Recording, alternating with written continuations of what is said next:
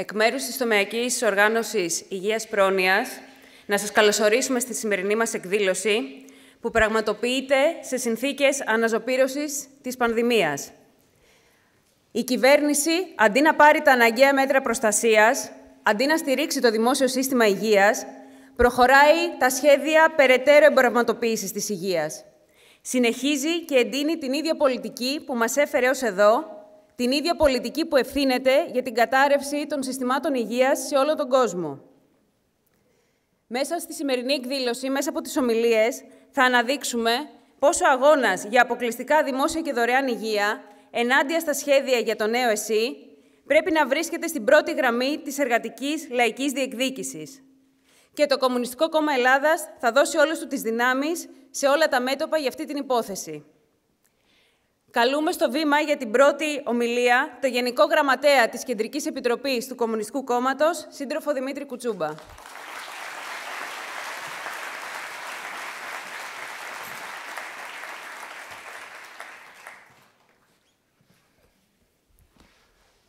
Καλησπέρα σας, φίλες και φίλοι, συντρόφισσες και σύντροφοι.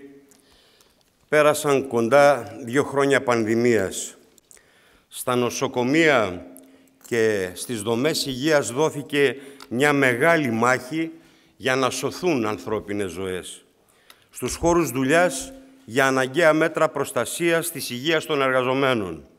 Στους δρόμους για να μην μπουν σε καραντίνα τα εργατικά λαϊκά δικαιώματα. Ο καθένας σήμερα μπορεί να αναρωτιέται πώς μια κοινωνία που συζητάει για ψηφιακές χειρουργικές αίθουσες και για ρομποτική χειρουργική είδε τα συστήματα υγείας σε όλο τον πλανήτη να καταραίουν από έναν RNA ιό. Πώς γίνεται στα πιο πολυδιαφημιζόμενα και πολυδάπανα συστήματα υγείας του πλανήτη μας οι νοσηλευτές να στερούνται τον απαραίτητο προστατευτικό εξοπλισμό φορώντας ακόμα και σκουπιδοσακούλες. Πώς η Ευρωπαϊκή Ένωση από σπίτι των λαών μετατράπηκε σε σπίτι του καθενός για την πάρτη του που λέμε, αφού η μια χώρα δέσμευε και έκλεβε από την άλλη εμβόλια, μάσκες, φάρμακα, αναπνευστήρες. Πώς γίνεται ο επιστημονικός κόσμος να παράγει εμβόλιο μέσα σε δέκα μήνες και μέχρι σήμερα να έχει εμβολιαστεί μόνο το 2,8% του πληθυσμού στις φτωχότερες χώρες.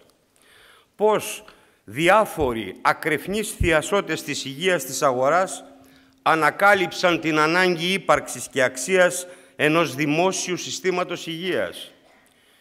Η περίοδος της πανδημίας ανέδειξε με εκοφαντικό τρόπο τα σαθρά υλικά με τα οποία οικοδομείται το σύστημα υγείας πολλά χρόνια τώρα.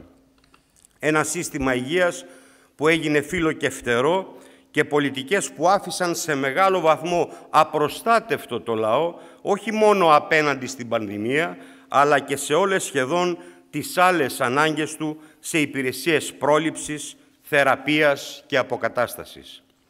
Διότι από πουθενά δεν δικαιολογούνται ως αντικειμενικά γεγονότα κατά την πανδημία οι 16.000 νεκροί στη χώρα μας και τα πολύ χαμηλά ποσοστά εμβολιασμού. Η αναβολή των τακτικών παιδικών εμβολιασμών κατά 70%. Η μείωση του προσυμπτωματικού ελέγχου για καρκίνο κατά 90%. Η αναβολή πάνω από 100.000 χειρουργείων και ογκολογικών θεραπείων. Οι επιπτώσεις στην ψυχοκοινωνική ανάπτυξη χιλιάδων ανθρώπων και ειδικά παιδιών. Πρόσφατες έρευνες μάλιστα μιλάνε για 53 εκατομμύρια περισσότερες καταθλιπτικές διαταραχές και 76 εκατομμύρια περισσότερες διαγνώσεις άγχους από το αναμενόμενο μόνο το 2020 παγκοσμίως. Τα επιστημονικά επιτεύγματα που παρουσιάζονται σχεδόν καθημερινά, οι τεχνολογικές δυνατότητες της εποχής δεν μας επιτρέπουν να συνηθίζουμε το θάνατο. Δεν συνάδουν με τα χιλιάδες καθημερινά κρούσματα και τους δεκάδες καθημερινούς θανάτους στη χώρα μας. Ίσα ίσα αναδεικνύουν ότι οι ευθύνες της κυβέρνησης στη διαχείριση της πανδημίας είναι εγκληματικές. Είτε αυτές αφορούν την πρόληψη, είτε την ιχνηλάτηση, είτε την επιδημιολογική επιτήρηση, είτε την εμβολιαστική εκστρατεία, είτε το βασικότερο όλων, την ενίσχυση του δημόσιου συστήματος υγείας. Επιβεβαιώνουν τις θέσεις του ΚΚΕ και της πλειοψηφίας των σωματείων των υγειονομικών που από την πρώτη στιγμή μπήκαν μπροστά, εμψύχωσαν το λαό μας, έδωσαν τον καλύτερό του σε αυτό. Το ΚΚΕ κρούει τον κόδωνα του κινδύνου. Τα τελευταία στοιχεία της πανδημίας είναι πάρα πολύ ανησυχητικά. Όσο και αν η κυβέρνηση επιχειρεί να πετάξει από πάνω της την ευθύνη, όσο και αν επιστρατεύει πάλι τη θεωρία της ατομικής ευθύνης, όσο και αν στοχοποιεί μια τους νέους, μια τους ασυνείδητους και άλλοτε τους ανεμβολίαστους, είναι πολλαπλά εκτεθειμένη η ίδια απέναντι στο λαό. Έχει βαριές ευθύνες. Εκτός από την επιπέδωση των εμβολιασμών, υπάρχει σαφής αναζωπήρωση η οποία αποτυπώνεται στην αύξηση κρουσμάτων, απλών νοσηλιών, διασωληνωμένων και ασθενών σε μεθ. Όλα δείχνουν ότι αν συνεχιστεί αυτή η πολιτική και διαχείριση μέχρι τα τέλη Δεκεμβρίου, το τέταρτο επιδημικό κύμα θα είναι πιο φωνικό από το πρώτο και το δεύτερο μαζί. Ειδικά στη Βόρεια Ελλάδα φρακάρουν τα νοσοκομεία και οι κλίνες ΜΕΘ και αντί η κυβέρνηση να επιτάξει τον ιδιωτικό τομέα υγείας, συνεχίζει να χαρτζηλικώνει τους κλινικάρχες. Καμιά επανάπαυση. Η υγεία του λαού δεν μπορεί να συνεχίζει να παίζεται κορώνα γράμματα.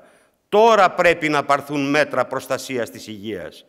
Τα σημερινά έκτακτα υποτίθεται μέτρα που ανακοίνωσε ο Υπουργός Υγείας μόλις πριν από λίγο είναι τα ίδια που μας έφεραν στη σημερινή τραγική κατάσταση των περίπου 7.000 κρουσμάτων σε μια μέρα σήμερα, των 60 θανάτων τη μέρα, των εκατοντάδων διασωληνωμένων.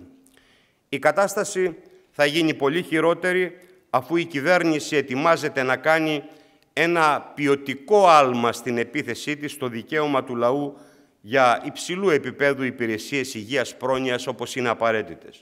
Γιατί το νέο ΕΣΥ που ετοιμάζει είναι φτιαγμένο από τα ίδια σάπια υλικά της εμπορευματοποίησης, της ιδιωτικοποίησης. Αυτά τα υλικά, αυτές οι πολιτικές που διαμόρφωσαν το υπάρχον άθλιο, επικίνδυνο σύστημα υγείας για το λαό μας, αυτή τη φορά παρουσιάζονται ως λύσεις. Παρουσιάζεται δηλαδή ως λύση η συνταγή που μας έφερε μέχρι εδώ. Φίλες και φίλοι, δεν είναι υπερβολή να πούμε πως το εσύ που φτιάχτηκε τη δεκαετία του 80 δεν υφίσταται πλέον, έχει περάσει ανεπιστρεπτή. Βέβαια, η δημιουργία του εσύ τότε ασφαλώς έγινε κάτω από την πίεση, από την ίδια την ανάπτυξη του εργατικού λαϊκού κινήματος, και των αγώνων των υγειονομικών εκείνη την περίοδο. Επιδρούσε ασφαλώς και η μεγάλη ακτινοβολία των κατακτήσεων των κρατών που οικοδομούσαν το σοσιαλισμό. Όμως σημαντικό ενδιαφέρον τότε είχε και το αστικό κράτος για τη λειτουργία της καπιταλιστικής οικονομίας, την εξασφάλιση δηλαδή των ελάχιστων που απαιτούνται για να διατηρούνται οι εργαζόμενοι σε ικανότητα να μπαίνουν και να ξαναμπαίνουν στην παραγωγή την αντικειμενική αυτή ανάγκη εκείνη την περίοδο δεν μπορούσε, βλέπετε, να αναλάβει ο ιδιωτικός επιχειρηματικός τομέας, διότι απαιτούνταν τεράστια κεφάλαια για την πανελλαδική ανάπτυξη του συστήματος υγείας.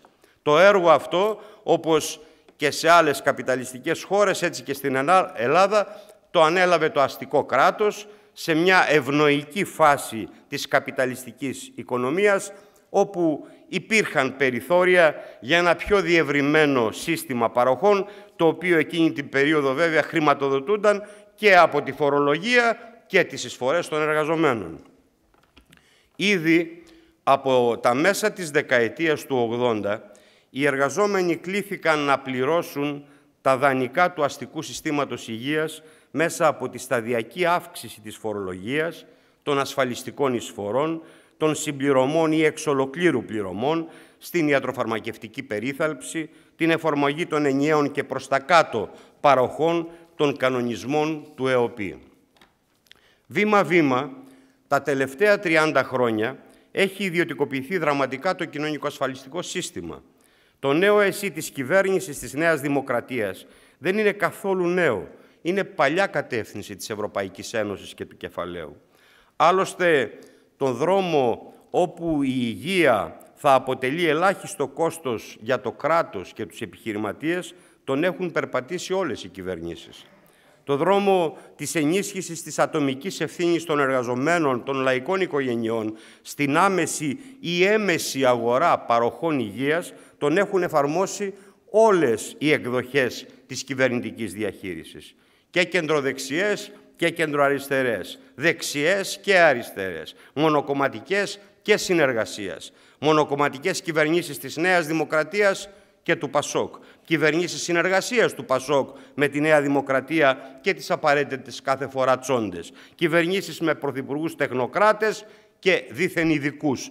Η πρώτη φορά αριστερή επίσης κυβέρνηση του ΣΥΡΙΖΑ με τους ΑΝΕΛ.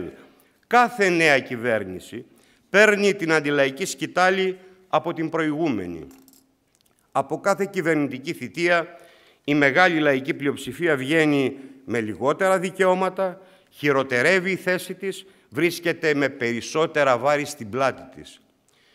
Στη χώρα μας, όποια κυβέρνηση κι αν πέρασε, νομίζεις πως οι αποφάσεις για την υγεία γράφτηκαν από το ίδιο χέρι.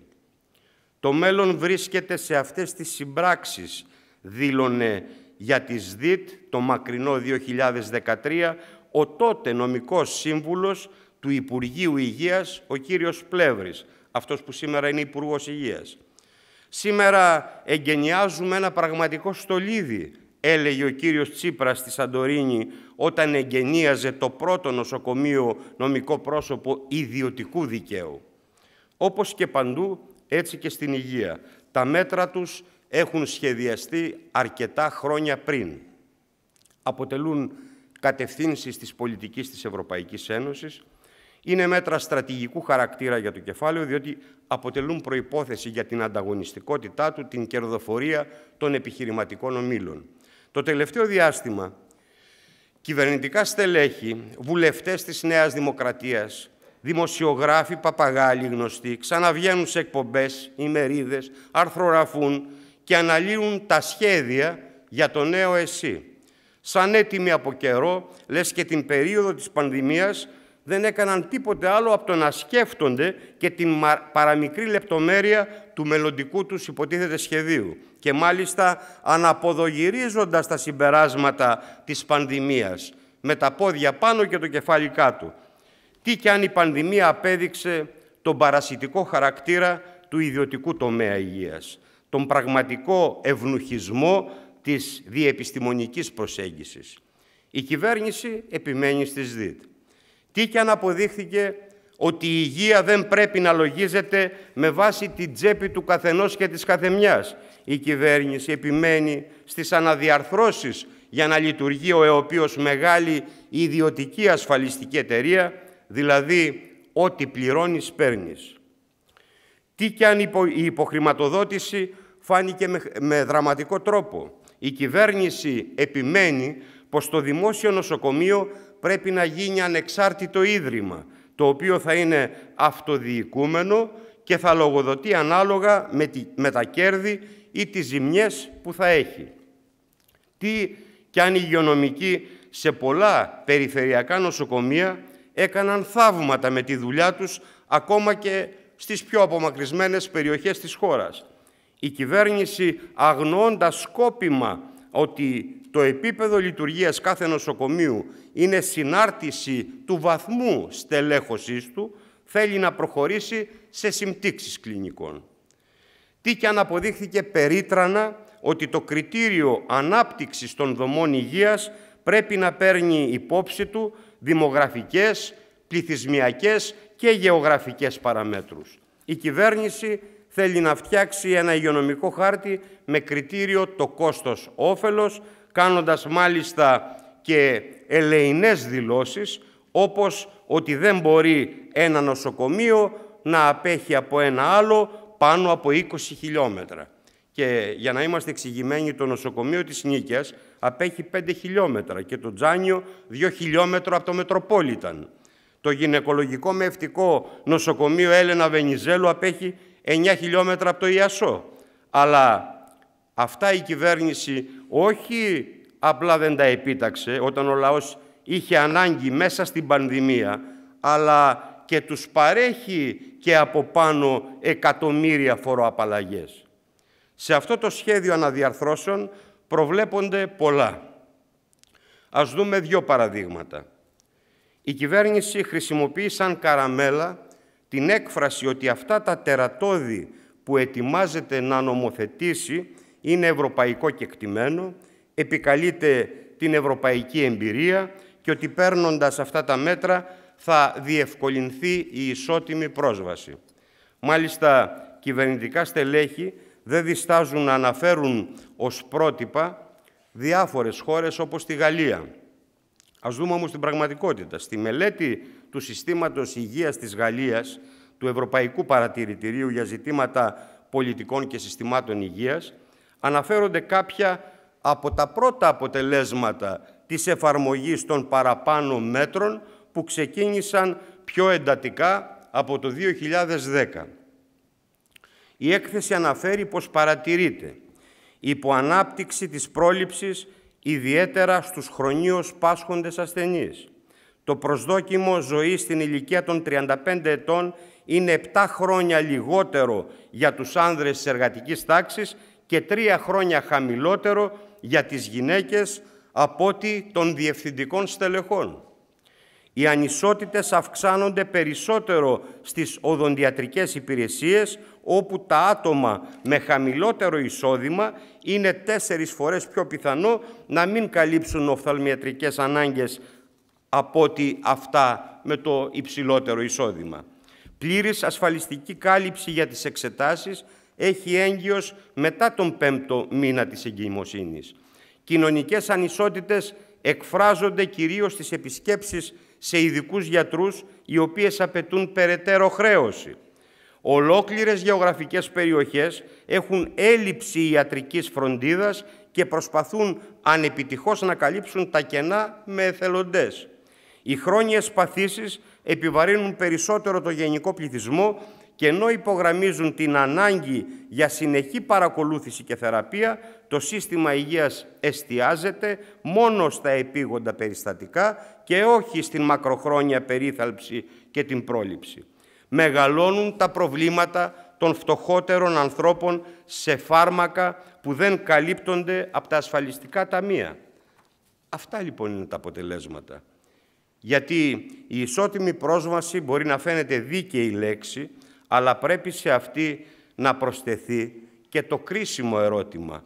Ισότιμη πρόσβαση σε τι; Σε αυτή την ερώτηση η απάντηση που δίνουν οι πολιτικές και τα σχέδιά τους είναι ισότιμη πρόσβαση σε λίγες υπηρεσίες υγείας, σε ένα βασικό πακέτο και μετά ανάλογα με το πορτοφόλι. Ας δούμε άλλο ένα παράδειγμα. Μας λένε αφού το κράτος δεν έχει λεφτά για να καλύψει κάποιες ανάγκες, τι σας πειράζει εάν μια υπηρεσία παρέχεται από έναν ιδιώτη αφού ο πολίτης δεν θα πληρώνει; Αναρωτιούνται τάχατες αθώα διάφοροι κυβερνητικοί, αυτά μας λένε, κυβερνητικοί νυν και πρώην. Καταρχάς, αυτό είναι μεγάλο θέμα από μόνο του. Δείχνει τον προσανατολισμό αυτού του συστήματος δείχνει το γεγονός ότι το κράτος έχει μια χαρά τεράστια αποθέματα όταν πρόκειται για εξοπλισμούς, για παράδειγμα, πολεμικές δαπάνες, άλλες τέτοιες γνωστές υγειονομικές προτεραιότητες. Όλοι όμως ξέρουν και το εξής. Τα ιδιωτικά μεγαθύρια των διαγνωστικών εξετάσεων ή άλλα μονοπόλια της υγείας και του ιατροφαρμακευτικού, του μηχανολογικού εξοπλισμού επενδύουν για το κέρδος. Από αυτό θα καθορίζεται ποιες και πόσες υπηρεσίες θα παρέχουν. Όταν θέλουν ή εκτιμούν ότι η επένδυση δεν τους συμφέρει, θα τη σταματούν. Αλήθεια, από τέτοιους τύπους θα εξαρτώνται οι υγειονομικές υπηρεσίες που θα παρέχονται στο λαό; Πώς θα βελτιώσουν τη ζωή των ασθενών και των υγειονομικών εις δίτ και το βάθεμα της εμπορευματοποίησης. Και από πού το βρήκαν ότι δήθεν ο πολίτης δεν πληρώνει ή δεν θα πληρώνει; Και τι κάνει στην πραγματικότητα αλήθεια όλα αυτά τα χρόνια με την άμεση ή έμεση συμμετοχή και τις εισφορές του στα ασφαλιστικά ταμεία; Δεν πληρώνει. Το Κομμουνιστικό Κόμμα Ελλάδας μιλάει καθαρά. Το σχέδιο για το νέο ΕΣΥ, αν εφαρμοστεί, θα πολλαπλασιάσει τα προβλήματα και υγειονομικών και ασθενών. Γιατί, πρώτο, η μείωση των μονάδων σημαίνει λιγότερα διαθέσιμα κρεβάτια. Μεγάλη μάζα ασθενών θα αναγκαστεί να πληρώσει εξ ολοκλήρου την επίσκεψη σε μη συμβεβλημένους γιατρούς. Δεύτερο, οι δημόσιες μονάδες θα λειτουργούν ακόμα περισσότερο ως επιχειρήσεις που θα πουλάνε τις υπηρεσίες τους σε ασθενείς πελάτες και στα ασφαλιστικά ταμεία για να εξασφαλίσουν τη λειτουργία τους. Τρίτο, θα γίνει πιο εμφανής η διαφοροποίηση ανάμεσα στις μονάδες υγείας πρόνοιας ως προς την ανάπτυξη τιμημάτων και υπηρεσιών ανάλογα με το ύψος των εσόδων από την πώληση των εργασιών τους. Τέταρτο, θα επεκταθούν οι ελαστικές σχέσεις εργασίας για τους υγειονομικούς θα γίνει καθεστώς η περιφορά των εργαζομένων από μονάδα σε μονάδα. Πέμπτο, θα δημιουργηθούν επικίνδυνες συνθήκες νοσηλείας και έγκαιρης παρέμβασης.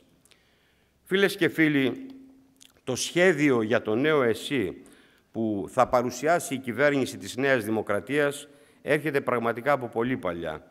Είναι όντως ευρωπαϊκό και εκτιμένο, αποτελεί όντως διαχρονικό στόχο της Ευρωπαϊκής Ένωσης, με μια όμως σημαντική διαφορά ότι από αυτά τα σχέδια είναι βαθιά ζημιωμένοι οι ασθενείς και οι υγειονομικοί, όλος ο λαός συνολικά. Και ας μην κάνουν κάποιοι τους ανήξερους. Αλήθεια, πόσο διαφορετικό είναι το εσύ του ΣΥΡΙΖΑ. Ο ΣΥΡΙΖΑ κάθε φορά που αναφέρεται στην υγεία, όπως πρόσφατα με το δικοματικό καυγά που έστησε στη Βουλή την ώρα του Πρωθυπουργού, προσπαθεί να ψαρέψει σε θολά νερά. Βέβαια, για να μην τον παρεξηγήσουν και πολύ, κάθε τρεις και λίγο μας θυμίζει ότι παρέχει συνένεση. Μια καλώντας το λαό σε σιγή ηχθείως, όπως τους, τον πρώτο καιρό της πανδημίας με το θα λογαριαστούμε μετά, μια με τις προτάσεις του για κοινό Υπουργό Υγείας με τη Νέα Δημοκρατία και την άλλη όπως τα αλλεπάλληλα καλέσματά του προς την κυβέρνηση για ένα κοινό εθνικό σχεδιασμό. Δεν χάνει ευκαιρία όχι μόνο να μας θυμίσει ότι κυβέρνησε με σύνεση, αλλά ότι έχει και σήμερα προτάσεις κομμένες και ραμμένες για τα κέρδη του μεγάλου κεφαλαίου. Ας θυμίσουμε κάποιες από αυτές. Τι λέει και τι προτείνει ο ΣΥΡΙΖΑ για την επιχειρηματική δράση στην υγεία. Έλεγε πως υπάρχουν όρια στους κανόνες της αγοράς. Την ίδια ώρα όμως, όπου βρεθεί και όπου σταθεί, μιλά για κοστολογημένες προτάσεις μη τυχόν και του τραβήξουν το αυτοί οι επενδυτές και οι διάφοροι επιχειρηματικοί όμιλοι. Το κριτήριο και του ΣΥΡΙΖΑ είναι αυτό των χαμηλότερων κρατικών δαπανών και παροχών, προκειμένου οι εργαζόμενοι να στοιχίζουν όσο το δυνατό λιγότερο για το κράτος και τους επιχειρηματίες. Ακόμα και σήμερα προτείνει την ουτοπική συνύπαρξη δημόσιου και ιδιωτικού τομέα τι έκανε και τι προτείνει ο ΣΥΡΙΖΑ για την εμπορευματική λειτουργία του δημόσιου συστήματος υγείας; Μήπως μια χαρά δεν υλοποίησε τη στρατηγική του κεφαλαίου για λειτουργία των δημόσιων νοσοκομείων ως αυτοτελείς επιχειρηματικές μονάδες που θα καλύπτουν το κόστος λειτουργίας με την πώληση υπηρεσιών σε ασθενείς και σε ασφαλιστικά ταμεία; Διατήρησε και εφάρμοσε για πρώτη φορά πιλωτικά το 2018 σε 18 νοσοκομεία το νόμο της συγκυβέρνησης Νέας Δημοκρατίας Πασόκ του 2014 για αλλαγή του τρόπου χρηματοδότησης των νοσοκομείων με βάση την ικανότητα προσέλκυσης πελατών και την επίτευξη οικονομικής αποδοτικότητας. Η δική του κυβέρνηση ήταν αυτή που άνοιξε διάπλατα την πόρτα για νοσοκομεία ιδιωτικές επιχειρήσεις, ενταγμένες στο δημόσιο σύστημα με τη λειτουργία της ανώνυμης εταιρείας Μονάδων Υγείας ΑΕ, στην οποία ανήκει και το νοσοκομείο Σαντορίνης. Τι έκανε και τι λέει, ή μάλλον τι δεν λέει ο ΣΥΡΙΖΑ, για την κατάργηση των φόρων υπέρ της υγείας, των αυξημένων συμμετοχών και πληρωμών στο δημόσιο και ιδιωτικό τομέα, των αυξημένων πληρωμών σε φάρμακα και θεραπείες, για τα είδη των εξετάσεων, των θεραπείων, των υγειονομικών υλικών που έχουν πεταχτεί από τον κανονισμό παροχών του ΕΟΠΗ. Ούτε λέξη για αυτά, ούτε για άλλα χαράτσια, όπως αυτά των ιδιωτικών απογευματινών ιατρίων στα δημόσια νοσοκομεία. Τι έκανε και τι προτείνει ο ΣΥΡΙΖΑ για τους υγειονομικούς, τους οποίους προτείνει ένα νέο, λέει, κοινωνικό συμβόλαιο. Δεν διαιώνισε ελαστικές σχέσεις εργασίας. Τα μνημόνια, τα μνημόνια, λέει, τον εμπόδιζαν τότε να υλοποιήσει τις διακηρύξεις του. Όμως το, δεν τον εμπόδιζαν τα μνημόνια να δουλεύει τον κόσμο ότι δήθεν έκανε χιλιάδες προσλήψεις μετρώντας ξανά και ξανά τους ίδιους επικουρικούς κάθε φορά που ανανέωνε τις συμβάσεις τους. Ποιος αλήθεια θα ξεχάσει ότι ο κυβέρνηση ο ΣΥΡΙΖΑ κατάργησε και τυπικά τον σταθερό ημερήσιο και εβδομαδιαίο χρόνο εργασίας των γιατρών και νομιμοποίησε τις αυθαιρεσίες σε βάρος των εργαζομένων στην υγεία με τα εξαντλητικά ωράρια, ακόμα και τα 60 ώρα. Την ίδια ώρα αρνήθηκε προσλήψεις, διατήρησε στο ακέραιο το πετσόκομα των έξι μισθών το χρόνο και επέφερε επιπλέον χτυπήματα με το νέο μισθολόγιο. Τι έκανε και τι προτείνει ο ΣΥΡΙΖΑ για τη χρηματοδότηση της δημόσιας υγείας. Δεσμεύτηκε να εξασφαλίσει το 7% του ΑΕΠ που αποτελεί τον μέσο όρο χρηματοδότησης της υγείας στην Ευρωπαϊκή Ένωση. Μα ακριβώς αυτό το ποσοστό φάνηκε ότι διέλυσε ακόμα και τα λεγόμενα προηγμένα συστήματα ε, υγείας.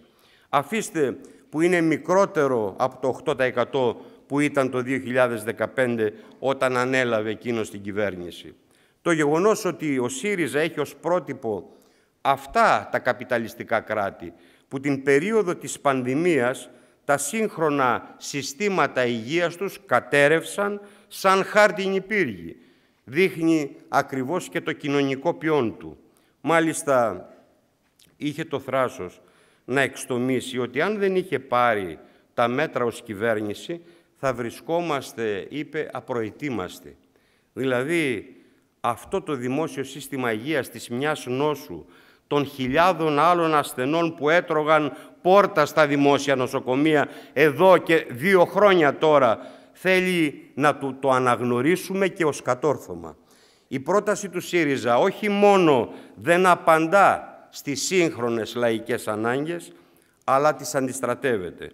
Γιατί απλά λαϊκές ανάγκες και κερδοφορία των ομίλων βρίσκονται σε αντίθετη κατεύθυνση. Βρίσκονται στον αντίποδα του, του δικαιώματος του λαού να απολαμβάνει τις τεράστιες δυνατότητες που ανοίγουν η ίδια η επιστήμη, η τεχνολογία, να έχει κατοχυρωμένες δηλαδή δωρεάν σύγχρονες υπηρεσίες υγείας από το κράτος. Φίλες και φίλοι, συντρόφισσες και σύντροφοι, το σύνθημα «Η υγεία είναι κοινωνικό αγαθό και όχι εμπόρευμα» που γράφτηκε, φωνάχτηκε και συμφωνεί μαζί του η πλειοψηφία του ελληνικού λαού, μπορεί να γίνει πράξη, μπορεί να πάρει σάρκα και οστά, μόνο αν ο λαός, το κίνημά του, μαζί με το ΚΚΕ, παλέψει για εξασφάλιση από το κράτος της δωρεάν πλήρους και απρόσκοπτης ιατροφαρμακευτικής περίθαλψης και νοσηλείας για όλους, για πλήρη και επαρκή κρατική χρηματοδότηση των δημοσίων νοσοκομείων, των κέντρων υγείας, των άλλων μονάδων υγείας, από τον κρατικό προϋπολογισμό για φορολόγηση του κεφαλαίου με 45%, για μαζικές προσλήψεις μόνιμου προσωπικού, πλήρους αποκλειστικής απασχόλησης όλων των κλάδων και ειδικοτήτων στα δημόσια νοσοκομεία, στα κέντρα υγείας, στις άλλες μονάδες, μονιμοποίηση όλων των συμβασιούχων και εργολαβιών εργαζομένων, για αύξηση των εισακτέων στις σχολές ιατρικής και νοσηλευτικής, για να εξασφαλιστεί η επάρκεια στελέχωσης των δημοσίων μονάδων υγείας, για κατάργηση του μέτρου αναστολής εργασίας, για ουσιαστικά μέτρα ενημέρωσης των υγειονομικών για την ανάγκη εμβολιασμού, για αύξηση των ανεμβολίαστων σε υπηρεσίες χαμηλού κινδύνου μετάδοσης του ιού με συχνά και επαναλαμβανόμενα δωρεάν τεστ, για ανάπτυξη τμήματων με διεπιστημονικές ομάδες για την παρακολούθηση των ασθενών που νόσησαν από τον κορονοϊό, για πλήρη και δωρεάν εξασφάλιση των αναγκαίων υπηρεσιών αποκατάστασης, για ανάπτυξη και στελέχωση των κρατικών υπηρεσιών υγείας, ασφάλειας στην εργασία με προσλήψεις μονίμων γιατρών εργασίας, τεχνικών ασφαλείας, νοσηλευτών, επισκεπτών υγείας. Προσανατολισμός στην πρόληψη και αντιμετώπιση του επαγγελματικού κινδύνου. Για κατάργηση κάθε είδους πληρωμής στην υγεία για όλο το λαό. Για δωρεάν διάθεση των ειδικών φαρμάκων και των φαρμάκων για τις ασθένειες που τις συνοδεύουν, τα συμπληρώματα διατροφής, το υγειονομικό και αναλώσιμο υλικό από τα δημόσια νοσοκομεία, τα κέντρα υγείας, τις μονάδες του ΕΟΠΗ, στους χρόνιους πάσχοντες και στα άτομα με ειδικές ανάγκες. Για πλήρεις υπηρεσίες πρόληψης, θεραπείας και αποκατάστασης στους μετανάστες αποκλειστικά από τις δημόσιες μονάδες υγείας. Στον αντίποδα του εκτρώματος που ετοιμάζεται να φέρει η κυβέρνηση στη Βουλή για την πρωτοβάθμια φροντίδα υγείας, σήμερα το ΚΚΕ παρουσιάζει τον πυρήνα της πολιτικής του πρότασης. Έχει πλέον αποδειχθεί ότι είναι και είναι όριμο να αναπτυχθεί η πρωτοβάθμια φροντίδα υγείας σε πανελλαδικό επίπεδο με χρηματοδότηση αποκλειστικά από το κράτος χωρίς καμιά εμπλοκή συμμετοχή του ιδιωτικού τομέα, των ΜΚΟ, των διαφόρων κοινωνικών συνεταιρισμών. Πυρήνας της πρωτοβάθμιας φροντίδας υγείας πρέπει να είναι το κέντρο υγείας με τα αποκεντρωμένα ιατρία και τις κινητές μονάδες που συνδέονται με αυτό. Να είναι πλήρες τελεχωμένο, πλήρως τελεχωμένο με όλες τις βασικές ειδικότητες γιατρών, όπως γενικοί γιατροί, παθολόγοι, παιδίατροι, γυναικολόγοι, οφθαλμίατροι, ορθοπαιδικοί, ψυχίατροι, μικροβιολόγοι, ακτινολόγοι κλπ. Επίσης οδοντιάτρων, νοσηλευτών, μεών, ψυχολόγων, κοινωνικών λειτουργών, επισκεπτών υγείας, φυσικοθεραπευτών, άλλων υγειονομικών. Να έχει σύγχρονο τεχνολογικό εξοπλισμό, διαγνωστικά εργαστήρια, οδοντιατρία, φυσικοθεραπευτήρια, φαρμακεία.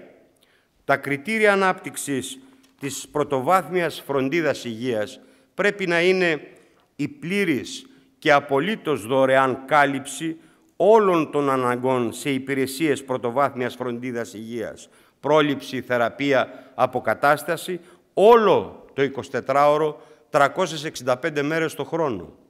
Η έγκαιρη παροχή υπηρεσιών, Γι' αυτό πρέπει να είναι κοντά στον τόπο κατοικίας, εργασίας και σπουδών. Οι ιδιαίτερες συνθήκες κάθε περιοχής, επίσης, αν είναι βιομηχανική, αγροτική, αν είναι τουριστική, ορεινή, ιδιαίτερα παίρνουμε υπόψη τα 200 κατοικημένα νησιά της χώρας. Οι ιδιαίτερες ανάγκες τμήματων του πληθυσμού, όπως βρεφικός, παιδικός πληθυσμός, γυναίκες, αμαία, ηλικιωμένοι, Ρωμά, πρόσφυγες μετανάστες. Οι μονάδες πρωτοβάθμιας φροντίδας υγείας, κέντρα υγείας, πολυιατρία, αποκεντρωμένα ιατρία, κινητές μονάδες, διασυνδέονται με την οικογένεια, τα σχολεία και τις σχολές, τους βρεφονιπιακούς σταθμούς, τους τόπους δουλειάς, τους τόπους άθλησης, τα γυροκομεία, άλλα ιδρύματα που τυχόν υπάρχουν. Με αυτή την έννοια, ο οικογενειακός γιατρός στην πρότασή μας, δηλαδή ο γενικός γιατρός, ο παθολόγος, ο παιδίατρος, αποτελεί βασικό στοιχείο στη σύνθεση του επιστημονικού προσωπικού των κέντρων υγείας και έχει ουσιαστικό και όχι περιορισμένο ή αντιλαϊκό ρόλο όπως κάνει η σημερινή και η προηγούμενη κυβέρνηση με τις τοπικές μονάδες υγείας. Το ΚΚΕ προτάσει τον προσανατολισμό στις υπηρεσίες πρόληψης που σημαίνει ότι αυτές πρέπει να απευθύνονται πριν απ' όλα στους υγιείς με ανάπτυξη υπηρεσιών για την πρόληψη, την αντιμετώπιση του επαγγελματικού κινδύνου, μέτρων για την υγεία και ασφάλεια στην εργασία. Το Κέντρο Υγείας πρέπει να αποτελεί ένα επιτελείο συνεργαζόμενων υπηρεσιών πρωτοβάθμιας φροντίδας υγείας που θα μελετά, θα καταγράφει, θα σχεδιάζει και θα εφαρμόζει προγράμματα και υπηρεσίες που αφορούν το σύνολο του πληθυσμού, ομάδες του πληθυσμού και εξατομικευμένα.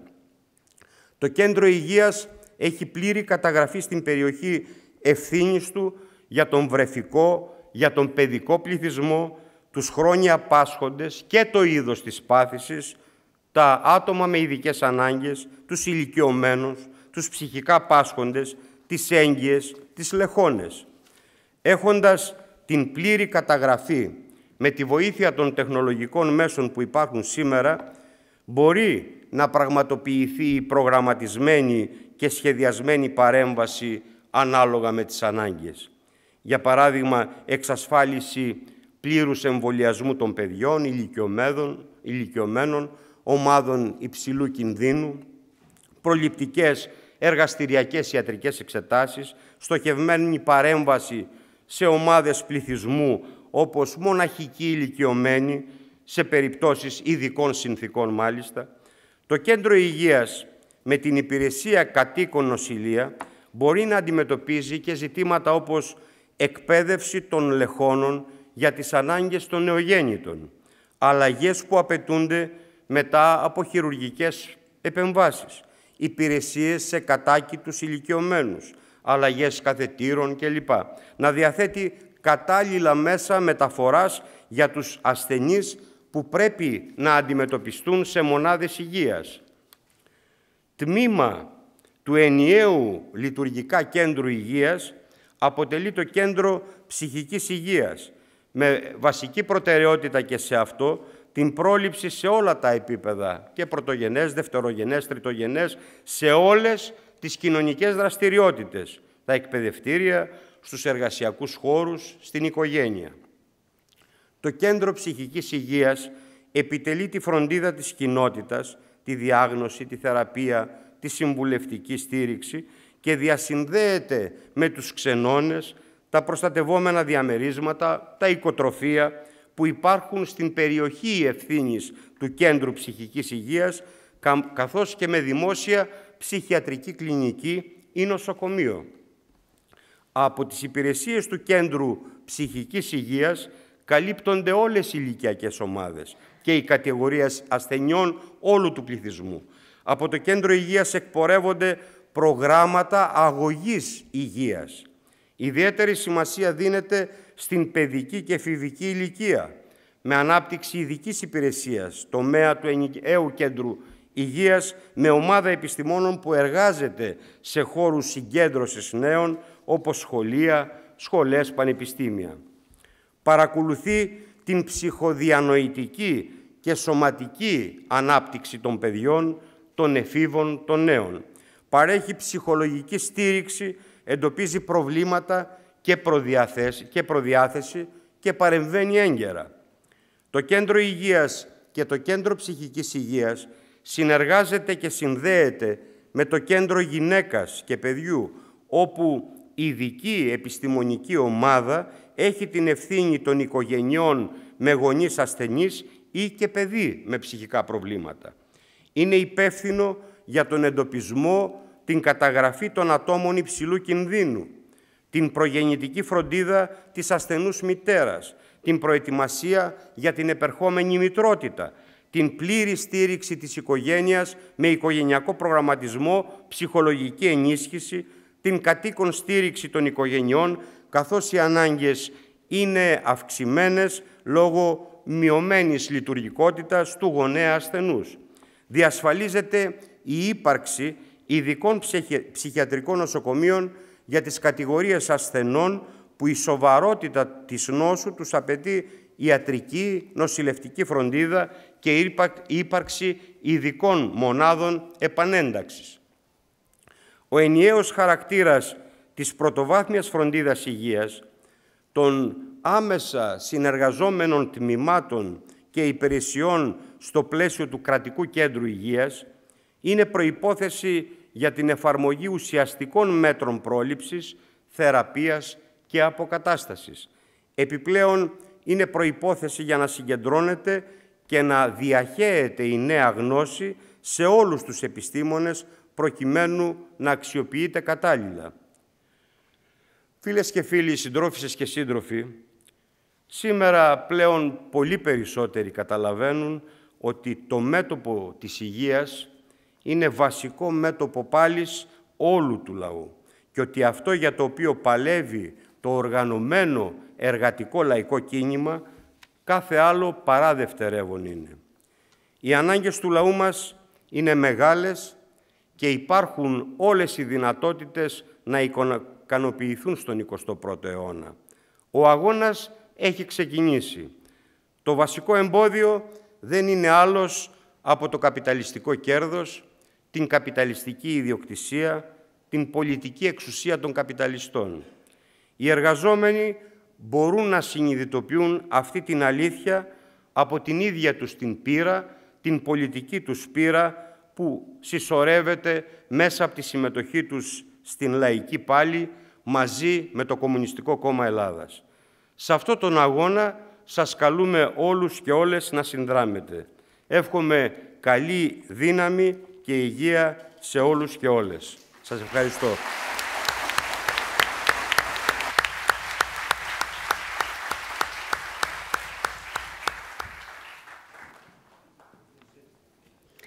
Ευχαριστούμε τον σύντροφο Γενικό Γραμματέα.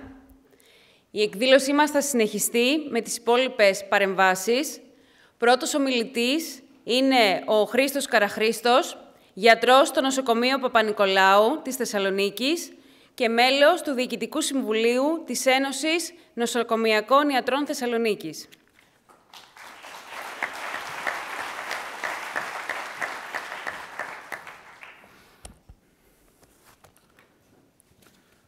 Ε, συντρόφισσες, σύντροφοι, φίλες και φίλοι. Διανύουμε αυτή τη στιγμή τον 20ο μήνα μέσα στην πανδημία και τα στοιχεία, ιδιαίτερα στη Βόρεια Ελλάδα και σήμερα πάνω από 1.100 κρούσματα στη Θεσσαλονίκη, είναι ιδιαίτερα ανησυχητικά. Αποδεικνύουν ότι όχι μόνο δεν έχουμε τελειώσει με την πανδημία, αλλά είμαστε σε έξαρση, γιατί ακριβώς δεν ξεμπερδέψαμε με την πολιτική που φορτώνει τα βάρη και τις συνέπειές της στις πλάτες του λαού για τα κέρδη των λίγων. Η κατάσταση που βιώνουν στις δημόσιες μονάδες υγείας της Βορείου Ελλάδος είναι σαν να μην πέρασε μια μέρα από την αρχή της πανδημίας. Τα τεράστια κενά που υπήρχαν από πριν, αλλά και οι επιπλέον τεράστιες ανάγκες που δημιούργησε αυτή, έχουν δημιουργήσει ένα εκρηκτικό σκηνικό με χιλιάδες νεκρούς από COVID, αλλά και παράλληλες απώλειες ασθενών από τη μετατροπή των δημοσίων μονάδων υγείας σε μονοθεματικές. Σήμερα, και ενώ αντιμετωπίζουμε ξανά μια επικίνδυνη αύξηση του επιδημιολογικού φορτίου στην περιοχή μας, η κυβέρνηση συνεχίζει να μην προχωρά σε κανένα μέτρο από αυτά που ζητάνε οι υγειονομικοί μέσα από τον αγώνα των σωματείων τους. Ενδεικτικά, σε όλα τα νοσοκομεία της Θεσσαλονίκης και των υπολείπων νομών της ε, της Βορείου Ελλάδος, τα χειρουργεία υπολειτουργούν. Είτε επειδή οι χειρουργικές αίθουσες μετατράπηκαν σε μεθ COVID, είτε απλά επειδή δεν αρκεί το προσωπικό. Χιλιάδες χειρουργεία μόνο στη Θεσσαλονίκη είναι σε αναμονή. Ε, με ό,τι αυτό συνεπάγεται για την υγεία των ασθενών. Χαρακτηριστικά στο νοσοκομείο Παπαγεωργίου από τις 14 χειρουργικές αίθουσες περιορίστηκαν στις 5 με 7. Στο ΑΧΕΠΑ από τις 10 δεν λειτουργούν ούτε οι μισές. Το ίδιο ακριβώς πρόβλημα υπάρχει με τις με τις χιλιάδες επισκέψεις στα εξωτερικά ιατρία, τα οποία έχουν χαθεί λόγω της λειτουργίας τους με περιοδικότητα.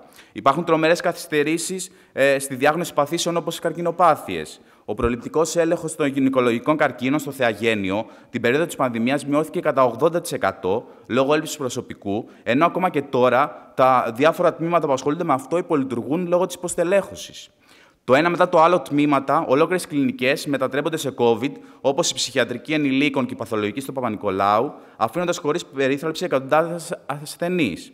Τα προβλήματα είναι εκρηκτικά, με τελευταίο παράδειγμα που το αποδεικνύει να είναι στην παθολογική κλινική των Σερών, όπου ε, 5 στους 6 παθολόγους παρετήθηκαν, καταγγέλλοντας ακριβώς τις επικίνδυνες συνθήκες για τους ίδιους, αλλά και για τις ασθενείς. Ίσως το σημαντικότερο πρόβλημα είναι οι ελλείψεις κρεβατιών στις ΜΕΘ COVID, που είναι τεράστιες και για άλλη μια φορά βλέπουμε διασωληνωμένου ασθενείς να μένουν εκτός μονάδας για ολόκληρα 24 ώρα. Στο ΑΧΕΠΑ και του Παπα-Νικολάου παραμένουν στα χειρουργεία, που έχουμε μετατραπεί πρόχειρα σε ΜΕΘ, αντίστοιχα στο Παπαγεωργιού και το Ιπποκράτιο σε απλούς θαλάμους και πάει λέγοντας. Καθημερινά ε, υπάρχει σε εξέλιξη ένας αγώνας δρόμου για να βρεθεί μια κλίνη διαθέσιμη. Οι εργαζόμενοι στις ΜΕΘ είναι αγανακτισμένοι, καθώς δεν μπορούν να καλύψουν τις ανάγκες φροντίδας των ασθενών στους απλούς θαλάμους. Ταυτόχρονα, βέβαια, βλέπουμε πλήρως εξοπλισμένες μονάδες, όπως οι 18 νέες του Παπα-Νικολάου, να μένουν ένα χρηστία γιατί δεν έχουν γίνει οι αναγκαίες προσλήψεις ή να υπολειτουργούν με δανεικό προσωπικό από όλα τα τμήματα του νοσοκομείου. Τα προβλήματα, οι ελλείψεις, τα κενά είναι ηλικιώδη. Βέβαια, όταν οι υγειονομικοί με τους αγώνες των σωματείων τους τα αναδεικνύουν και διεκδικούν άμεσες λύσεις, η απάντηση είναι μία από όλους τους υπευθύνους, υπεάρχε, διοικητές, Μία απάντηση που μάλιστα τώρα τελευταία τη χρησιμοποιούν και αναερθρίαστα, ότι οι συνθήκες είναι έκτακτες, είμαστε σε πόλεμο, αυτό που ήταν να γίνουν έγιναν. Είναι η μόνιμη απάντηση όταν τα εντέλεστε για εφημερίες έρχονται το ένα μετά το άλλο, όταν οι μετακινήσεις προσωπικού από το ένα τμήμα στο άλλο, από νοσοκομείο σε νοσοκομείο, είναι καθημερινότητα. Το τι σημαίνει το νέο ΕΣΥ, το νέο εμπορευματοποιημένο εθνικό σύστημα υγείας, το έχουμε δει στην πράξη και οι υγειονομικοί και οι ασθενείς. Όλα τα παραπάνω παραδείγματα είναι η απόδειξη ότι η υγεία του λαού αντιμετωπίζεται σαν κόστος, όπως ακριβώς κάνουν διαχρονικά όλες οι κυβερνήσεις, ακολουθώντας πιστά τις οδηγίες της Ευρωπαϊκής Ένωσης. Φαίνεται όλο και πιο καθαρά σήμερα ότι απέναντι στην ικανοποίηση των σύγχρονων αναγκών της κοινωνίας στην υγεία βρίσκεται το εμπόδιο του κέρδους των μεγάλων επιχειρήσεων στον χώρο. Ακριβώς αυτό το παιχνίδι θέλουν να βάλουν σαν παίκτη και το νέο ΕΣΥ, να λειτουργεί δηλαδή με τους όρους της αγοράς Ποια είναι η προϋπόθεση γι' αυτό; Εργαζόμενοι χωρίς δικαιώματα και ασθενείς πελάτες. Με τις αναστολές εκατοντάδων υγειονομικών, η κυβέρνηση, η ΥΠΕ, ε, έστειλαν εντολή στα νοσοκομεία να αναπληρώσουν τα κενά. Πώς όμως έγιναν και γίνονται αυτές οι αναπληρώσεις εδώ και καιρό, με συναδέλφους με τρίμηνες συμβάσεις που φεύγουν πριν καλά-καλά μάθουν τη δουλειά, με εργολαβικές εταιρείες που σουλατσάρουν και λιμένονται το δημόσιο σύστημα υγείας. Απ' τη μια δηλαδή διόγκωση του καθεστώτος ομοιρίας, στο οποίο βρίσκονται χιλιάδες συνάδελφοί μας εδώ και χρόνια, και απ' την άλλη ενίσχυση στην κατεύθυνση της Ευρωπαϊκής Ένωσης, που μιλάει για δημόσιο σύστημα υγείας που οι λειτουργίες του θα εχωρούνται σε ιδιώτες με τη μορφή συμπράξεων. Προχωρούν παραπέρα την υλοποίηση των σχεδιασμών τους για κλείσιμο ε, και συγχωνεύση τμήματων κλινικών ολόκληρων νοσοκομείων. Βλέπουμε ακόμα και τώρα, στην πιο κρίσιμη ίσως ε, περίοδο για την πορεία της πανδημίας, να κλείνουν μονάδες συντατικής θεραπείας όπως το νοσοκομείο της Έδεσας, λόγω έλλειψης προσωπικού. Το ίδιο κάνουν στο Κυλκής, όπου μετά τη χρόνια υποβάθμιση του νοσοκομείου Γουμένισσας ετοιμάζονται τώρα να διακόψουν τη λειτουργία του. Η εμπειρία από το κλείσιμο νοσοκομείων στη Θεσσαλονίκη, το Λιμωδόν και το Παναγία τα προηγούμενα χρόνια αποδεικνύουν περίτρανα ότι αυτοί οι σχεδιασμοί δεν αφορούν τη βελτίωση, υποτίθεται, της περίθαλψης των ασθενών, αλλά αντίθετα δημιουργούν τεράστια προβλήματα. Όλα αυτά ενώ παράλληλα στην αντίπερα όχθη, ο καθαρόαιμος ιδιωτικός τομέας θησάβρισε κυριολεκτικά αυτή την περίοδο. Μεγαθύρια ιδιωτικά θεραπευτήρια, διαγνωστικά κέντρα διωγγώνονται. Η κυβέρνηση άφησε και αφήνει ακόμα εκτός μάχης μόνο στη Θεσσαλονίκη τουλάχιστον χίλιες απλές κλίνες και 120 κλίνες μεθ του ιδιωτικού τομέα, παρά το πάγιο αίτημα του, του κινήματος για την επίταξή τους. Τώρα προχωράει σε συμβάσεις με ιδιωτικά κέντρα τα οποία σύμφωνα με έγγραφο του ΕΚΑΒΕ και ΠΗ θα περιθάλπουν ασθενείς μόνο που είναι προς εξητήριο με το αζημίο του φυσικά. Τέτοια είναι η προσφορά τους.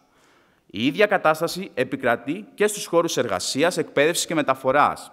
Ιδιαίτερη πρόβλημα στην περιοχή μας αποτελούν τα ελάχιστα μέτρα στους χώρους δουλειάς, που ουσιαστικά έχουν γίνει εκολαπτήρια του ιού, όπως σε πολλούς χώρους της Σύνδο, με το ιδιαίτερο πρόβλημα των πολλών εποχιακών εργατών από διάφορες χώρες χωρίς κανέναν έλεγχο.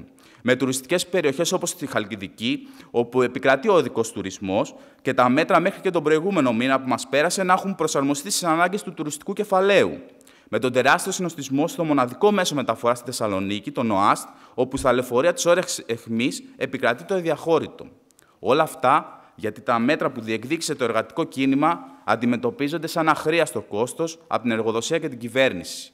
Αχρίαστο κόστος η ανθρώπινη ζωή μπροστά στα κέρδη. Αυτή η πραγματικότητα που μας παρουσιάζουν σαν μονόδρομο δεν έχει καμιά σχέση με τα συμφέροντα των εργαζομένων. Θα βρουν τη μαχητική απάντησή μας μπροστά τους, σε κάθε νοσοκομείο, σε κάθε χώρο δουλειάς, στο πλάι με τα εργασιακά σωματεία της πόλης, θα συνεχίσουμε να οργανωνόμαστε και να διεκδικούμε ενάντια στη συνολική πολιτική της κυβέρνησης και του κράτους. Θα συνεχίσουμε τον αγώνα στο πλευρό των ασθενών μας, γιατί έχουμε ευθύνη για την υπεράσπιση της υγείας και της ζωής του λαού. Ευχαριστώ.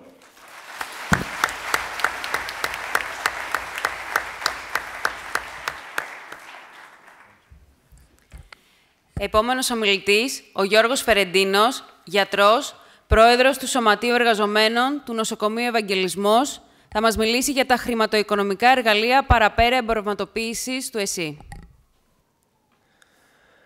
Σύντροφοι και φίλοι, για το έτος 2021, για το τρέχον δηλαδή, δαπάνες για την υγεία διαμορφώνονται στα 4,25 δισεκατομμύρια ευρώ, μειωμένες δηλαδή σε σχέση με πέρυσι κατά 572 εκατομμύρια ευρώ. Το ποσό για την πρόσληψη έκτακτου επικουρικού προσωπικού για την αντιμετώπιση της πανδημίας το 2021 διαμορφώνεται μόλις στα 131 εκατομμύρια ευρώ από 786 εκατομμύρια ευρώ το 2020, μειωμένο και αυτό κατά 655 εκατομμύρια ευρώ. Δημοσιεύματα στον αστικό τύπο ήδη κάνουν λόγο για μείωση του προπολογισμού και για το 2022.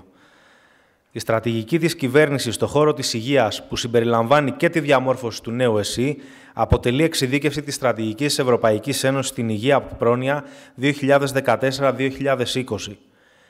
Η εξειδίκευση των μέτρων πραγματοποιήθηκε με ένα πλέγμα νομοθετημάτων που αφορούν το σύστημα υγείας πρόνοιας φαρμάκου, υποδομές και παροχές, με νέα κατεύθυνση τη δραστική μείωση των δημόσιων δαπανών για την υγεία από τον κρατικό προπολογισμό και την παραπέρα ενίσχυση της ατομικής ευθύνης των λαϊκών στρωμάτων να εξασφαλίσουν την αγορά ενός μεγαλύτερου από πριν μέρους των αναγκαίων υπηρεσιών υγείας.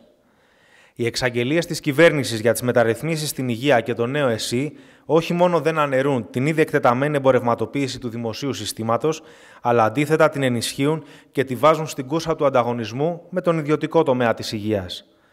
Στόχος είναι η απεμπλοκή του κρατικού προπολογισμού από την χρηματοδότηση της υγείας με την αυτοτελή χρηματοδότηση των νοσηλευτικών μονάδων, που προποθέτει βέβαια την ανέβρεση εναλλακτικών τρόπων χρηματοδότησης και εισρωής εσόδων.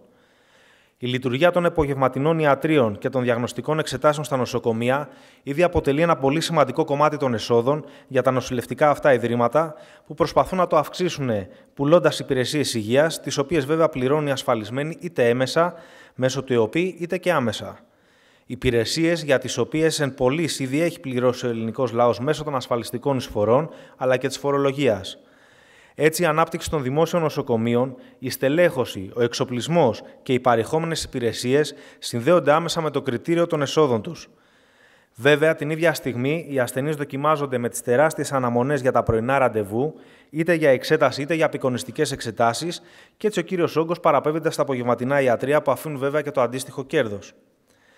Λόγω της αδυναμίας των νοσοκομείων να ανταποκριθούν στις ανάγκες υγείας του λαού, ένα μεγάλο μέρος των ασθενών αναγκάζεται να απευθύνεται στον ιδιωτικό τομέα, πληρώνοντας επιπλέον ποσά, παρόλο που θεωρητικά δικαιούνται δωρεάν αυτές τις παροχές, όπως είναι η συμμετοχή 15% σε εργαστηριακές διαγνωστικές εξετάσεις, η πληρωμή από 30 έως 50% των νοσηλείων στον ιδιωτικό τομέα, ακόμα και η επιπλέον ξεχωριστή αμοιβή των γιατρών.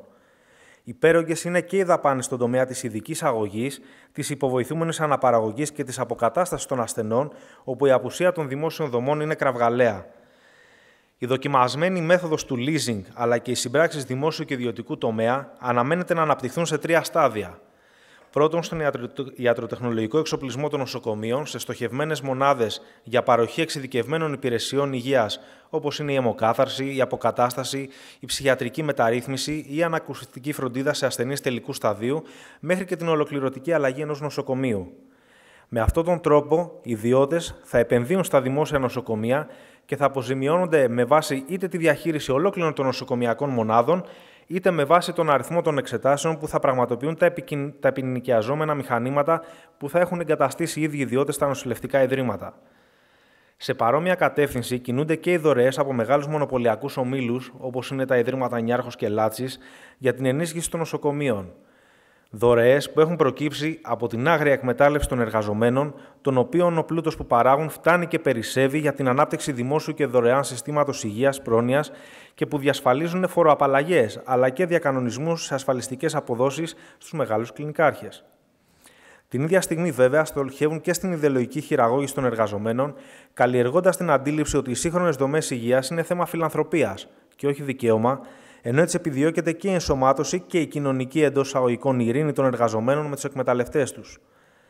Ένα ακόμα εργαλείο για τη βαθύτερη προσαρμογή των δημόσιων νοσοκομείων και των παροχών στους κανόνες της αγοράς αποτελεί και ο ήδη δοκιμασμένος από τη δεκαετία του 80 θεσμό των DRGs, των ομογενών δηλαδή διαγνωστικών κατηγοριών. Με βάση αυτό το νέο εργαλείο, ό,τι κινείται μέσα στα νοσοκομεία κοστολογείται και συγχρόνως αξιολογείται βάσει των προσδοκόμενων οικονομικών δικτών. Έτσι θα καταγράφεται δηλαδή πόσο κοστίζει κάθε εργαζόμενος, κάθε ασθενής, μια χειρουργική επέμβαση, μια οποιοδήποτε ιατρική νοσηλευτική πράξη, τα αναλώσιμα που χρησιμοποιούνται και ούτω καθεξής, σύμφωνα πάντα με τη λογική υγεία ίσον κόστος και ασθενής ίσον πελάτης. Τη διαφορά στην τιμή, βέβαια, που θα αποκλίνει από το προκαθορισμένο πακέτο αποζημίωσης, θα καλείται να την επομιστεί ο ασθενής αλλά και ο γιατρός, ενώ ο τελευταίος θα αξιολογείται και αρνητικά με point system, επειδή ο ασθενής κόστησε πιο ακριβά από τα προδιαγεγραμμένα όρια. Υπάρχει εμπειρία από την εφαρμογή αυτού του μέτρου στη Γερμανία και στη Γαλλία, όπου έκλεισαν ολόκληρα νοσοκομεία επειδή δεν έπιαναν το στόχο των ετήσιων επεμβάσεων, ενώ ακόμα και στις ΗΠΑ εν μέσω πανδημίας έκλεισαν νοσοκομεία επειδή δεν ήταν ανταγωνιστικά. Στην ουσία, αυτό το μέτρο αποδέχεται αντιεπιστημονικά ότι υπάρχουν ασθένειες και όχι ασθενείς, αδιαφορώντας για την ιδιαιτερότητα του ιατρικού ιστορικού κάθε ασθενούς και την αναγκαιότητα εξατομικευμένης αντιμετώπισης της κάθε περίστασης. Η διαρκώς αυξανόμενη μετακύληση επιπλέον δαπανών υγείας στους εργαζομένους, πρόφαση των δημοσιονομικών πιέσεων εξαιτίας του δημογραφικού προβλήματος και των νέων διεθνών οικονομικών συνθήκων, αποτελεί ένα παγκόσμιο φαινόμενο. Στη λογική του καπιταλιστικού κέρδους, βέβαια, που βρίσκει πεδίο ε, κερδοφορίας στην ασθένεια, τον πόνο, ακόμα και τον θάνατο των ασθενών. Στην κατεύθυνση αυτή προκρίνεται η αλλαγή της νομικής μορφής των νοσοκομείων και η μετατροπή τους σε θηγατρικές ανώνυμες εταιρείες του ΕΣΥ, νομικά πρόσωπα δηλαδή δημοσίου δικαίου, από, από νομικά πρόσωπα δημοσίου δικαίου, συγγνώμη, νομικά πρόσωπα ιδιωτικού δικαίου, μη κερδοσκοπικού χαρακτήρα βέβαια, κατά το επικρατέστερο ευρωπαϊκό πρότυπο. Με αυτή τη μετατροπή θα δίνεται η δυνατότητα να ανατίθεται η διοίκηση των νοσοκομείων σε εξειδικευμένες εταιρείες, όπως ισχύει σε μεγάλες καπιταλιστικές χώρες να παραχωρούνται τα αγροτικά ιατρία αλλά και τα κέντρα υγείας τη περιφέρειας σε κοινοπραξίε ιατρών με τη μορφή leasing τόσο του κτίριου αλλά και του εξοπλισμού, ώστε να λειτουργούν ως ιδιωτικές εταιρείες υπό την εποπτεία βέβαια του ΕΣΥ νομικού πρόσωπου ιδιωτικού δικαίου. Να καταρτιστεί υγειονομικός χάρτης που προβλέπει κλείσιμο νοσοκομιακών μονάδων με μόνο και αντιεπιστημονικό κριτήριο τη χιλιομετρική απόσταση, όπως είχε εξαγγείλει άλλωστε και ο Πρωθυπουργός σε ομιλία σε συνέδριο το σύστημα υγείας στην COVID-19 και μετά την COVID-19 εποχή. Η ανάπτυξη ενιαίου μοντέλου οργάνωσης και λειτουργίας των πρωτοβάθμιων δομών υγείας, ώστε να είναι πιο ανταγωνιστικά σε σχέση με τα αντίστοιχα του ιδιωτικού τομέα εξαγγελίες για 15 λεπτή εξέταση κάθε ασθενούς, που θα εξασφαλίζει περίπου 20 ασθενείς την ημέρα, εξασφαλίζοντας δηλαδή σε αυτούς τους ασθενείς μόνο τη συνταγογράφηση των φαρμάκων ή και μια υποτυπώδη εξέταση. Ενώ βέβαια θα καταργείται και η δωρεάν εξέταση κατοίκων στους ασθενείς που δεν μπορούν να μετακινηθούν. Αναμένεται να καταργηθεί το ενιαίο μισθολόγιο στο δημόσιο, στο οποίο μέχρι και σήμερα υπάγονται οι υγειονομικοί και θα θεσπιστούν κριτήρια και κίνητρα οικονομικής και κλινικής αποδοτικότητας που θα διαφοροποιήσουν τις αμοιβές των γιατρών, των νοσηλευτών αλλά και των διοικητικών υπαλλήλων, με στόχο την αύξηση της παραγωγικότητας μέσω του συστήματος αξιολόγησης των υπαλλήλων και των δομών. Θα υπάρξουν συμπράξεις ασφαλιστικών εταιριών με τα δημόσια νοσοκομεία για τη μεγαλύτερη προσέλευση ασθενών και την εισρωή κεφαλαίων με τη μορφή των ασφαλιστηρίων υγείας, αλλά και την επινοικίαση δομών, όπως ήδη συζητείται σε αρκετά νοσοκομεία για τις αίθουσες των χειρουργείων. Η εξασφάλιση για τους ανέργους και ανασφάλιστους ασθενείς ενός βασικού πακέτου παροχών υγείας θα έχει ως στόχο μόνο την επιβίωση. Δεν θα χρηματοδοτείται βέβαια τον κρατικό προπολογισμό, αλλά από τον ΕΟΠΗ και τα ασφαλιστικά ταμεία, ενώ η ευθύνη για τους απόρους μεταφέρεται και στον εθελοντισμό των ΜΚΟ αλλά και των κοινωνικών ιατρίων των Δήμων. Αυτοί είναι οι βασικοί άξονες που κινείται η κυβερνητική πολιτική στον τομέα της υγείας. Σταδιακή απεμπλοκή δηλαδή της χρηματοδότησης των κρατικών μονάδων υγείας από τον κρατικό προπολογισμό, ενίσχυση της λειτουργίας τους με ιδιωτικονομικά κριτήρια και αυτοτελής χρηματοδότηση, ενίσχυση της επιχειρηματικής δράσης στον κλάδο της υγείας και περιορισμός των υπηρεσιών που παρέχονται δωρεάν από το κράτος στο επίπεδο του ελάχιστου βασικού πακέτου. Αυτή η πολιτική αντιμετωπίζει την πρόληψη, την προστασία και την αποκατάσταση της υγείας του λαούς σαν κόστος, το οποίο πρέπει να εξορθολογιστεί, γιατί μπαίνει εμπόδιο στην ανταγωνιστικότητα και την κερδοφορία των μεγάλων επιχειρηματικών ομήλων. Η αντίληψη ότι η υγεία είναι μια επιχείρηση που πάντα θα έχει πελάτες ανοίγει ένα τεράστιο ορίζοντας κερδοφορίας στο μεγάλο κεφάλαιο που επιδιώκει το μέγιστο κέρδος από την εμπορία της ασθένειας, του ανθρώπινου πόδου και της ελπίδας για ζωή. Απέναντι σε αυτή την πολιτική, βέβαια, που ζυγίζει την ανθρώπινη ζωή με γνώμονα το κέρδος, οι μαχόμενοι υγειονομικοί μαζί με το λαό οφείλουν να δυναμώσουν τον αγώνα τους και να διεκδικήσουν ένα αποκλειστικά κρατικό σύστημα υγείας πρόνοιας, καθολικό, σύγχρονο και απολύτως δωρεάν για όλους. Χωρίς καμία επιχειρηματική δράση, χωρίς δωρεές από σωτήρες εφοπλιστές, που οι υπηρεσίες του θα αποτελούν στην πράξη κατοχυρωμένο κοινωνικό αγαθό και όχι προϊόν αγοροπολισίας. Με αποκλειστική κρατική χρηματοδότηση των δημόσιων μονάδων υγείας, με φορολόγηση του μεγάλου κεφαλαίου, κατάργηση των εισφορών των εργαζομένων στον κλάδο της υγείας και των ασφαλιστικών ταμείων. Ένα ενιαίο πανελλαδικό κρατικό σύστημα υγείας, όπου θα παρέχονται από το κράτος δωρεάν όλες οι εξετάσεις, οι θεραπείες, το υγειονομικό υλικό, τα φάρμακα, τα εμβόλια, χωρίς καμία πληρωμή, χωρίς συμμετοχές, χωρίς πλαφών και περικοπές, σύμφωνα με τις ανάγκες και με αποκλειστικά επιστημονικά κριτήρια, χωρίς καμία διάκριση ασφαλισμένους, ανασφάλιστους, εθνικότητα ή χρώμα. Ευχαριστώ.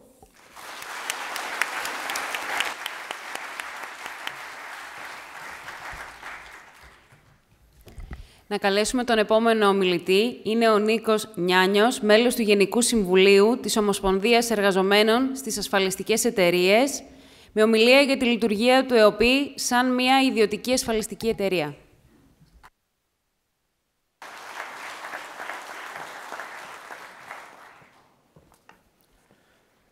Σύντροφοι και φίλοι, όταν μιλάμε για θέματα όπως την ασφάλιση και την υγεία, τότε το κεντρικό ζήτημα που τίθεται εξ αρχής είναι ένα. Αντιμετωπίζουμε τον ασθενή, τον ασφαλισμένο, ως εργαζόμενο που έχει δωρεάν δικαίωμα στην καλύτερη δυνατή ποιότητα φροντίδας και περίθαλψης ή ως πελάτη. Όποιο σχέδιο διαχείρισης και αν προτείνεται, ως βάση εκκίνησης φέρει την τοποθέτηση απέναντι σε αυτό το κρίσιμο ερώτημα. Και εκ των πραγμάτων, κάθε σχέδιο διαχείρισης που προτείνει τη λειτουργία του ΕΟΠΗ με όρους ασφαλιστικής εταιρείας για να γίνει το σύστημα αποδοτικότερο, έχει απαντήσει στο παραπάνω δίλημα, επιλέγοντας να βλέπει τον εργαζόμενο, τον άνεργο, τον συνταξιούχο, σαν πελάτη, που θα έχει περίθαλψη αν και στο βαθμό που έχει να την πληρώσει ο ίδιος. Γιατί αυτή είναι η φιλοσοφία κάθε μοντέλου ιδιωτικής ασφάλισης. Ως εργαζόμενοι στις ασφαλιστικές μπορούμε να το επιβεβαιώσουμε, αλλά ας γίνω πιο συγκεκριμένος. Πρώτα απ' όλα, η ιδιωτική ασφάλιση υγείας δεν είναι εδώ και πολλά χρόνια κάτι άγνωστο στην Ελλάδα. Ειδικά την τελευταία δεκαετία, είναι το βασικό πεδίο δραστηριότητας των ασφαλιστικών, στο οποίο βλέπουν πολλαπλασιασμό των εργασιών τους. Ενδεικτικά, σύμφωνα με την Ένωση Ασφαλιστικών Εταιριών, εκτιμάται ότι ατομικά ή ομαδικά ασφαλισμένοι στην υγεία είναι περί το 1,5 εκατομμύριο Έλληνες. Τα ασφάλιστρα ή αλλιώς τα έσοδα των ασφαλιστικών στον τομέα υγείας και ασθένειας σκαρφάλωσαν από τα 77 εκατομμύρια το 2009 στα 273 εκατομμύρια το 2019 και 300 εκατομμύρια ευρώ το 2020. Σημειώνοντας δηλαδή, μέσα στη δεκαετία της υποτιθέμενης κρίσης, μια αύξηση σχεδόν 400%, 400% και στη χρονιά του κορονοϊού αύξηση 9% όταν το ΑΕΠ σημείωνε αντίστοιχη πτώση. Αυτή η εκθετική αύξηση, βεβαίως, δείχνει κάτι. Δείχνει την ανάπτυξη της ιδιωτικής υγείας σε βάρος της δημόσιας. Γιατί όσο υποβαθμίζονταν στοχευμένα όλα αυτά τα χρόνια το δημόσιο σύστημα, τόσο μεγάλωναν οι δουλειές των ασφαλιστικών και κλινικαρχών. Και αυτό έχει και συγκεκριμένο αποτύπωμα στα πακέτα ασφάλισης των ασφαλιστικών. Γιατί πώς κατάφεραν άραγε να τετραπλασιάσουν τα έσοδά τους σε μια περίοδο συρρήκνωσης του λαϊκού εισοδήματος, ο κύριος τρόπος ήταν η αλλαγή των προσφερόμενων πακέτων. Για να μείνουν αυτά σε προσιτές τιμές, πλέον τα περισσότερα πατάνε πάνω σε ό,τι πληρώνει ήδη ο ΕΟΠΗ και καλύπτουν έξοδα από εκεί και πάνω. Με αυτό γίνεται φανερό και κάτι ακόμη. Πρώτον, το κεφάλαιο κάνει ήδη εκτεταμένη χρήση ΣΔΙΤ στην υγεία, πάνω στην οποία βασίζει την αύξηση κερδοφορίας του. Δεύτερο, η εικόνα που μπορεί να έχουν αυτή τη στιγμή πολλοί εργαζόμενοι, ιδιαίτερα νεότεροι, πως η ιδιωτική ασφάλιση είναι μια προσιτή εναλλακτική στο ρημαγμένο σύστημα υγείας, είναι ένα ψέμα. Οι ιδιωτικές ασφαλίσεις υγείας στην Ελλάδα είναι ακόμη σχετικά προσιτές, γιατί ουσιαστικά πατάνε πάνω στην ύπαρξη ενός έστω και λαιλατημένου εκτεταμένου συστήματος δημόσιας κοινωνικής ασφάλισης, το οποίο και εκμεταλλεύονται. Πάνω στο κομμάτι αύξηση του κόστους, αποκαλυπτική είναι και η σύγκριση που κάνει σε μελέτη της η Ένωση Ασφαλιστικών Εταιριών για τις ασφαλίσεις υγείας στην Ελλάδα σε σχέση με την Ευρωπαϊκή Ένωση.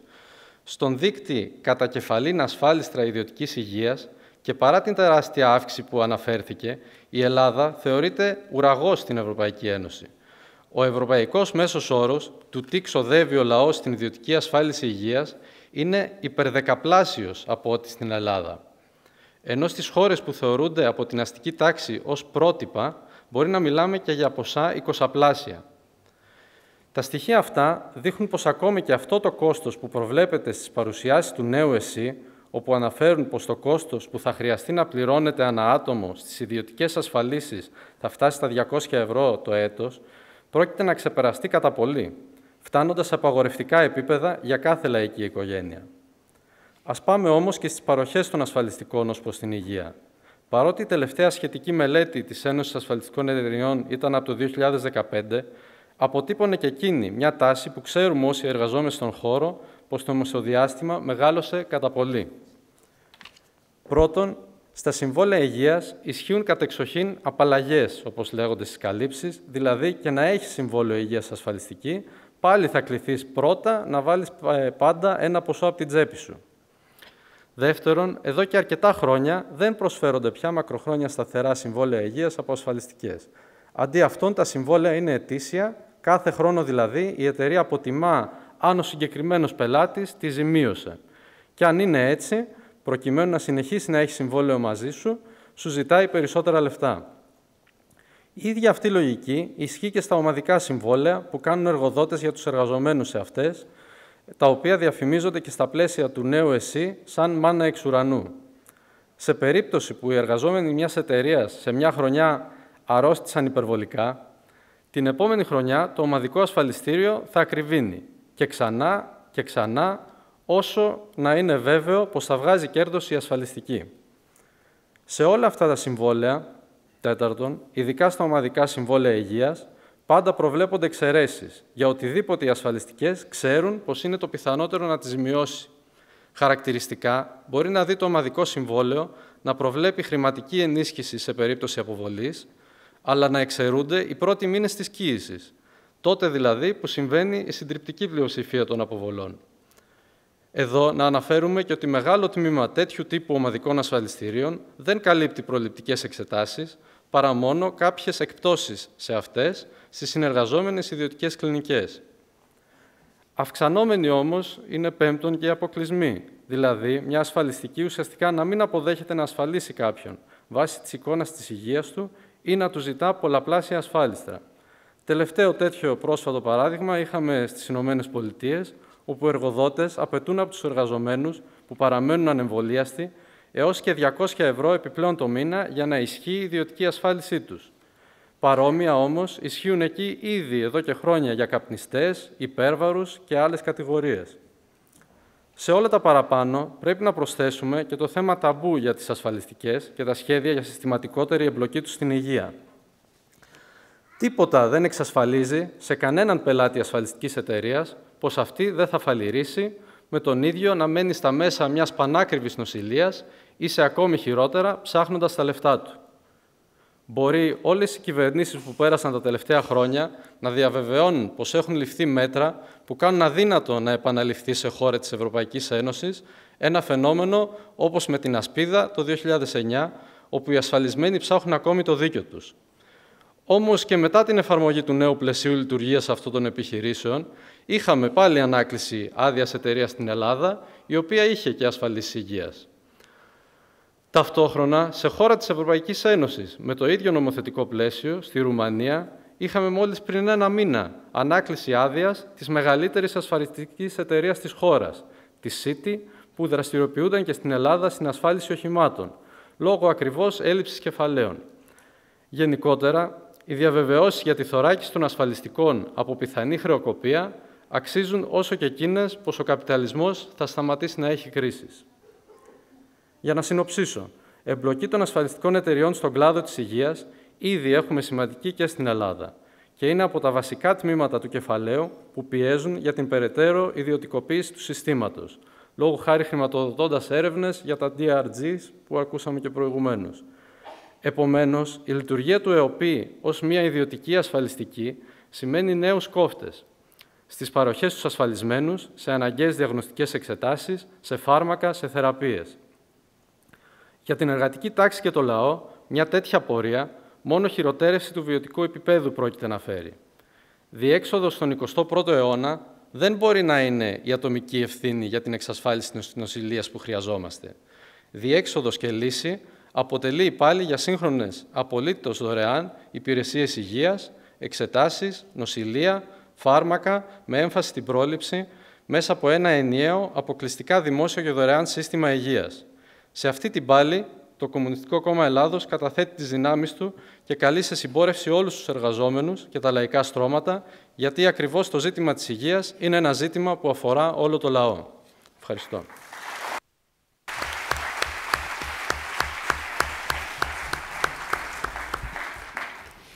Επόμενη ομιλήτρια, η Ελένη Παπαγεωργίου, γιατρός στο Γενικό Ογκολογικό Νοσοκομείο Κηφισιάς και συνεργάτης του Τμήματος Υγείας Πρόνοιας της Κεντρικής Επιτροπής για το ρόλο του υγειονομικού στο νέο ΕΣΥ.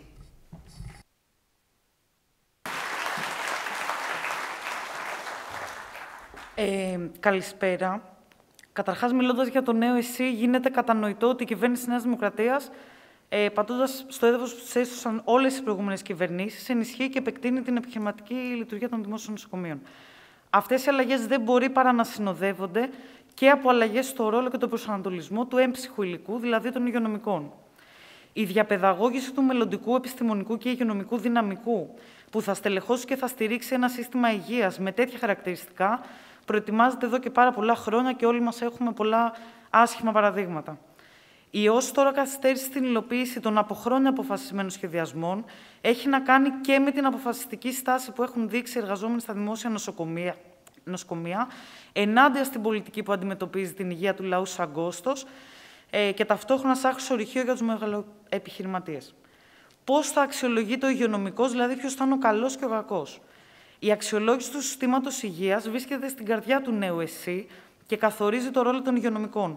Να πούμε ότι η αξιολόγηση έχει άλλο περιεχόμενο και στόχευση όταν έχεις σαν κριτήριο να συμβάλλεις στην ανταγωνιστικότητα και στην επιχειρηματική δράση και άλλο όταν επιδιώκει να υπηρετεί κοινωνικές ανάγκες.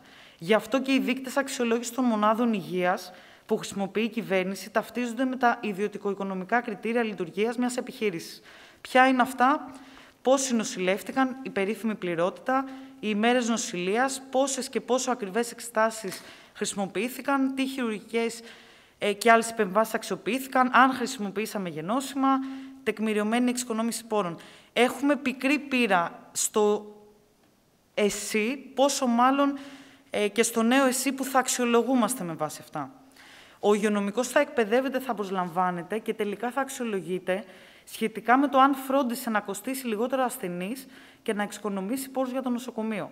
Όπως χαρακτηριστικά αναφέρεται στο προσχέδιο, είναι σημαντικό οι γιατροί να αναλάβουν την ευθύνη του κλινικού προπολογισμού για να αναλάβουν την ευθύνη για το κόστος που επισύρουν οι αποφάσεις τους. Πλούσια πείρα επί αυτών έχουμε ήδη. Για παράδειγμα, σε ορισμένα ογκολογικά νοσοκομεία, διοίκηση, διοικητικοί διευθυντές και γιατροί δεν εγκρίνουν απαραίτητες διαγνωστικές εξετάσει καρκινοπαθών, τους περίφημους μοριακούς ελέγχους, για να μην φουσκώσουν τον προπολογισμό του νοσοκομείου. Ω αποτέλεσμα, οι ασθενείς πληρώνουν 200 έως 1000 ευρώ στον ιδιωτικό για να ξεκινήσουν χημειοθεραπεία. Οι υγειονομικοί λοιπόν μπαίνουν σε μια λογική να μάθουν να συμβάλλουν στην εξοικονόμηση δαπανών ε, και περιορισμό του κόστους, θυσιάζοντας όμως την επιστημονική τους γνώση σε αυτό το βωμό. Ποιος θα είναι ο ρόλος των υγειονομικών τώρα; Ε, οι νοσοκομιακοί γιατροί καλούνται όχι μόνο να υποταχθούν στην εμπορευματική λειτουργία των δημόσιων νοσοκομείων, αλλά και να συμβάλλουν ενεργά στην υλοποίηση της πολιτικής που θέλει τους ασθενείς πελάτες. Το, απο, ε, το αποτυπώνουν απροκάλυπτα ως εξής. Για να μπορέσουν να υλοποιηθούν οι προτινόμενες αλλαγές, θα πρέπει να αλλάξει και η εργασιακή κουλτούρα των εργαζόμενων στο ΕΣΥ, τρεις τελίτσες, μόνο όταν θα, έχουν, όταν θα έχουν την αίσθηση ότι ανήκουν σε έναν οργανισμό που φροντίζει τους εργαζόμενους, θα είναι πρόθυμοι να υποστηρίξουν τις προτινόμενες αλλαγές. Επί της ουσίας, ζητάνε από τους υγειονομικούς να σταθούν απέναντι στις ανάγκες υγείας των παιδιών τους, των γονιών τους, των φίλων τους. Θέλουν τους υγειονομικούς, τον γιατρό, τον νοσηλευτή, την επισκέπτρια υγείας, τον εργαζόμενο στο σύστημα υγείας, το διοικητικό, να συμβάλλουν στη λειτουργία του νοσοκομείου σε επιχείρηση, να κόβουν με δική τους απόφαση φάρμακα, απαραίτητες εξετάσεις, θεραπευτικές επιλογές και μέρες νοσηλείας. Να θεραπεύουν και να περιθάλπτουν όποιον έχει να πληρώσει ή όποιου το ταμείο έχει να πληρώσει. Να πληρώνουν οι ασθενείς για εξετάσεις, ακόμα και για επίγοντα. Ε, από τα παραπάνω θα εξαρτάται το εισόδημα, τα μπόνους, η, η επιστημονική εξέλιξη και η σταδιοδρομία των υγειονομικών. Ε, τέλος, τα νέα κριτήρια αξιολόγησης δεν μπορούν παρά να φύγουν και τις εργασιακές σχέσεις των υγειονομικών. Η πλήρης ανατροπή τους είναι φαινόμενο που υπάρχει, διωγγώνεται και τώρα επιχειρείται να γίνει κύρια πραγματικότητα. Ε, αναφερόμαστε σε πληθώρα εργασιακών σχέσεων, ιδιώτες γιατροί, νοσηλεύθερε με μπλοκάκι, σύναψη συμβολέων με ιδιωτικές ασφαλιστικές εταιρείες ε, σε διάφορα νοσοκομεία και κάλυψη ελλείψεων ειδικοτήτων σε νοσοκομεία, κυρίως της επαρχίας και νησιών, με ιδιώτες γιατρούς. Δηλώνουν και πάλι προκλητικά ότι στο δημόσιο τομέα μόνο τα στελέχη που, που προορίζονται να έχουν υψηλές διευθυντικές θέσεις, άρα και αυξημένο βάρος στη λήψη αποφάσεων και στην κατανομή των πόρων, τα ιατρικά διευθυντικά στελέχη, δηλαδή, θα πρέπει να είναι πλήρως και αποκλειστικής απασχόλησης. Αντίθετα, ένα άλλο μεγάλο μέρος του λοιπού προσωπικού θα μπορούσε να είναι μερικής, ακόμα και εποχιακής απασχόλησης. Από τις ίδιες εξελίξεις, θα κληθούν οι υγειονομικοί να διαλέξουν μεταξύ ενσωμάτωσης και ανυπακοής ανάμεσα στη βαρβαρότητα ή στον πολιτισμό θα πρέπει να αρνηθούν τη συμβολή τους στην πολιτική κυβέρνηση και Ευρωπαϊκής Ένωσης, που τους οδηγεί να στέκονται εχθρικά απέναντι στους ασθενείς και να τους μετατρέπει σε φτηνό, ευέλικτο επιστημονικό δυναμικό του δημόσιου νοσοκομείου επιχείρησης. Να σταθούν στο πλευρό των εργαζόμενων των φτωχών λαϊκών στρωμάτων στον αγώνα για να πάψει η υγεία να είναι εμπόρευμα, για να τεθεί επιστημονική γνώση στην υπηρεσία των λαϊκών αναγκών. Ειδικά οι κομμουνιστές υγειονομικοί έχουμε καθήκον να υπερασπίσουμε το ρόλο που θα έπρεπε να έχουμε ενάντια στην αξιολόγηση που ε, προωθεί η κυβέρνηση με το νέο ΕΣΥ. Έχουμε πάρει την απόφαση να θέσουμε την επιστήμη στην υπηρεσία του λαού. Εξάλλου, η επιστημονική γνώση είναι προϊόν συλλογικής δουλειάς, δεν αφορά ατομική προσπάθεια ούτε τα κέντρα αριστείας που διαφημίζει νέα Υφυπουργός Υγείας. Θέλουμε να ζούμε με αξιοπρέπεια από το μισθό μας και να ασκούμε τις επιστήμες υγείας, την νοσηλευτική, την ιατρική, με επιστημονικά κριτήρια, χωρίς τους κόφτες των DRG που καθιέρωσε η κυβέρνηση του ΣΥΡΙΖΑ και επεκτείνει η τωρινή. Δεν δεχόμαστε να στερούμε από τους αρρώστους μας αναγκαία φάρμακα και εξετάσεις για να κοστίζει λιγότερο το δημόσιο νοσοκομείο επιχείρηση, ε, στο νοσοκομείο επιχείρηση ο ασθενής πελάτης.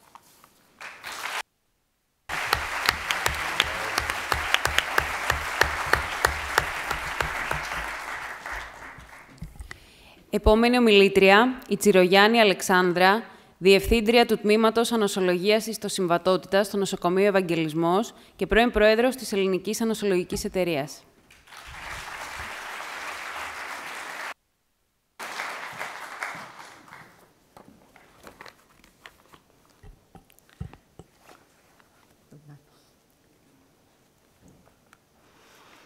Αγαπητοί συνάδελφοι, ε, συναγωνιστές και σύντροφοι, θα μου επιτρέψετε να πω ότι αποτελεί ιδιαίτερη τιμή το κάλεσμα να συμμετέχω σε αυτή την εκδήλωση, κάλεσμα μάλλον του κόμματος, για συμπόρευση και κοινή δράση, για την πάλη μας και τον αγώνα μας, για ένα εσύ στον αντίποδα του εσύ του παλιού, αυτού που εφαρμόστηκε επί 40 και πλέον χρόνια, και βέβαια στον αντίποδα και αυτού του νέου εσύ που ευαγγελίζεται αυτή τη στιγμή η νέα η τωρινή κυβέρνηση της Νέας Δημοκρατίας.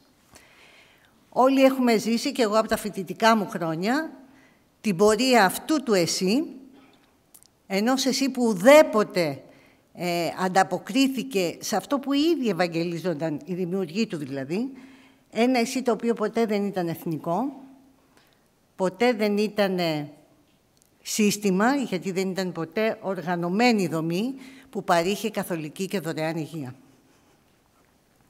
Έτσι φτάνουμε στο σήμερα, όπου όλες σχεδόν οι προηγούμενες κυβερνήσεις, και τώρα η Νέα Δημοκρατία, έρχεται να ανακαλύψει τη χρόνια, τις χρόνιες παθογένειες ενός συστήματος και μέσα, μέσα στην πανδημία βρίσκει την ευκαιρία να καταθέσει ένα νέο πρόγραμμα, ένα νέο, ε, για το νέο ΕΣΥ, που μεταξύ άλλων προβλέπει τον εξορθολογισμό των δομών με χάραξη νέου υγειονομικού χάρτη, άρα και έχει εφαρμοστεί ποτέ αυτός ο υγειονομικός χάρτης, που θα περιλαμβάνει επιπλέον συρρήκνωση ή και κατάργηση νοσοκομείων και κέντρων υγείας, περαιτέρω συγχωνεύσεις κλινικών και εργαστηριακών τμήματων στα νοσοκομεία, με, κριτήρια, με κριτήριο βέβαια όχι την κάλυψη των πραγματικών αναγκών, αλλά το πόσο κοστίζουν στο κρατικό υπολογισμό και βέβαια αν είναι επικερδείς, αν φέρνουν έσοδα στις συγκεκριμένες, από τις προσ, ε, συγκεκριμένες υπηρεσίες που προσφέρουν. Φυσικά δεν πρωτοτυπείς σε αυτό το σχέδιο, γιατί διαιωνίζει, ακολουθεί και εφαρμόζει στρατηγική και τακτική αναδιαρθρώσεων, οι οποίες υπαγορεύονται, και το ξέρουμε πολύ καλά από την Ευρωπαϊκή Ένωση, και που έχουν εφαρμοστεί απαρέγκλητα και από άλλες προηγούμενες κυβερνήσεις. Έχουμε αρκετά παραδείγματα γι' αυτό.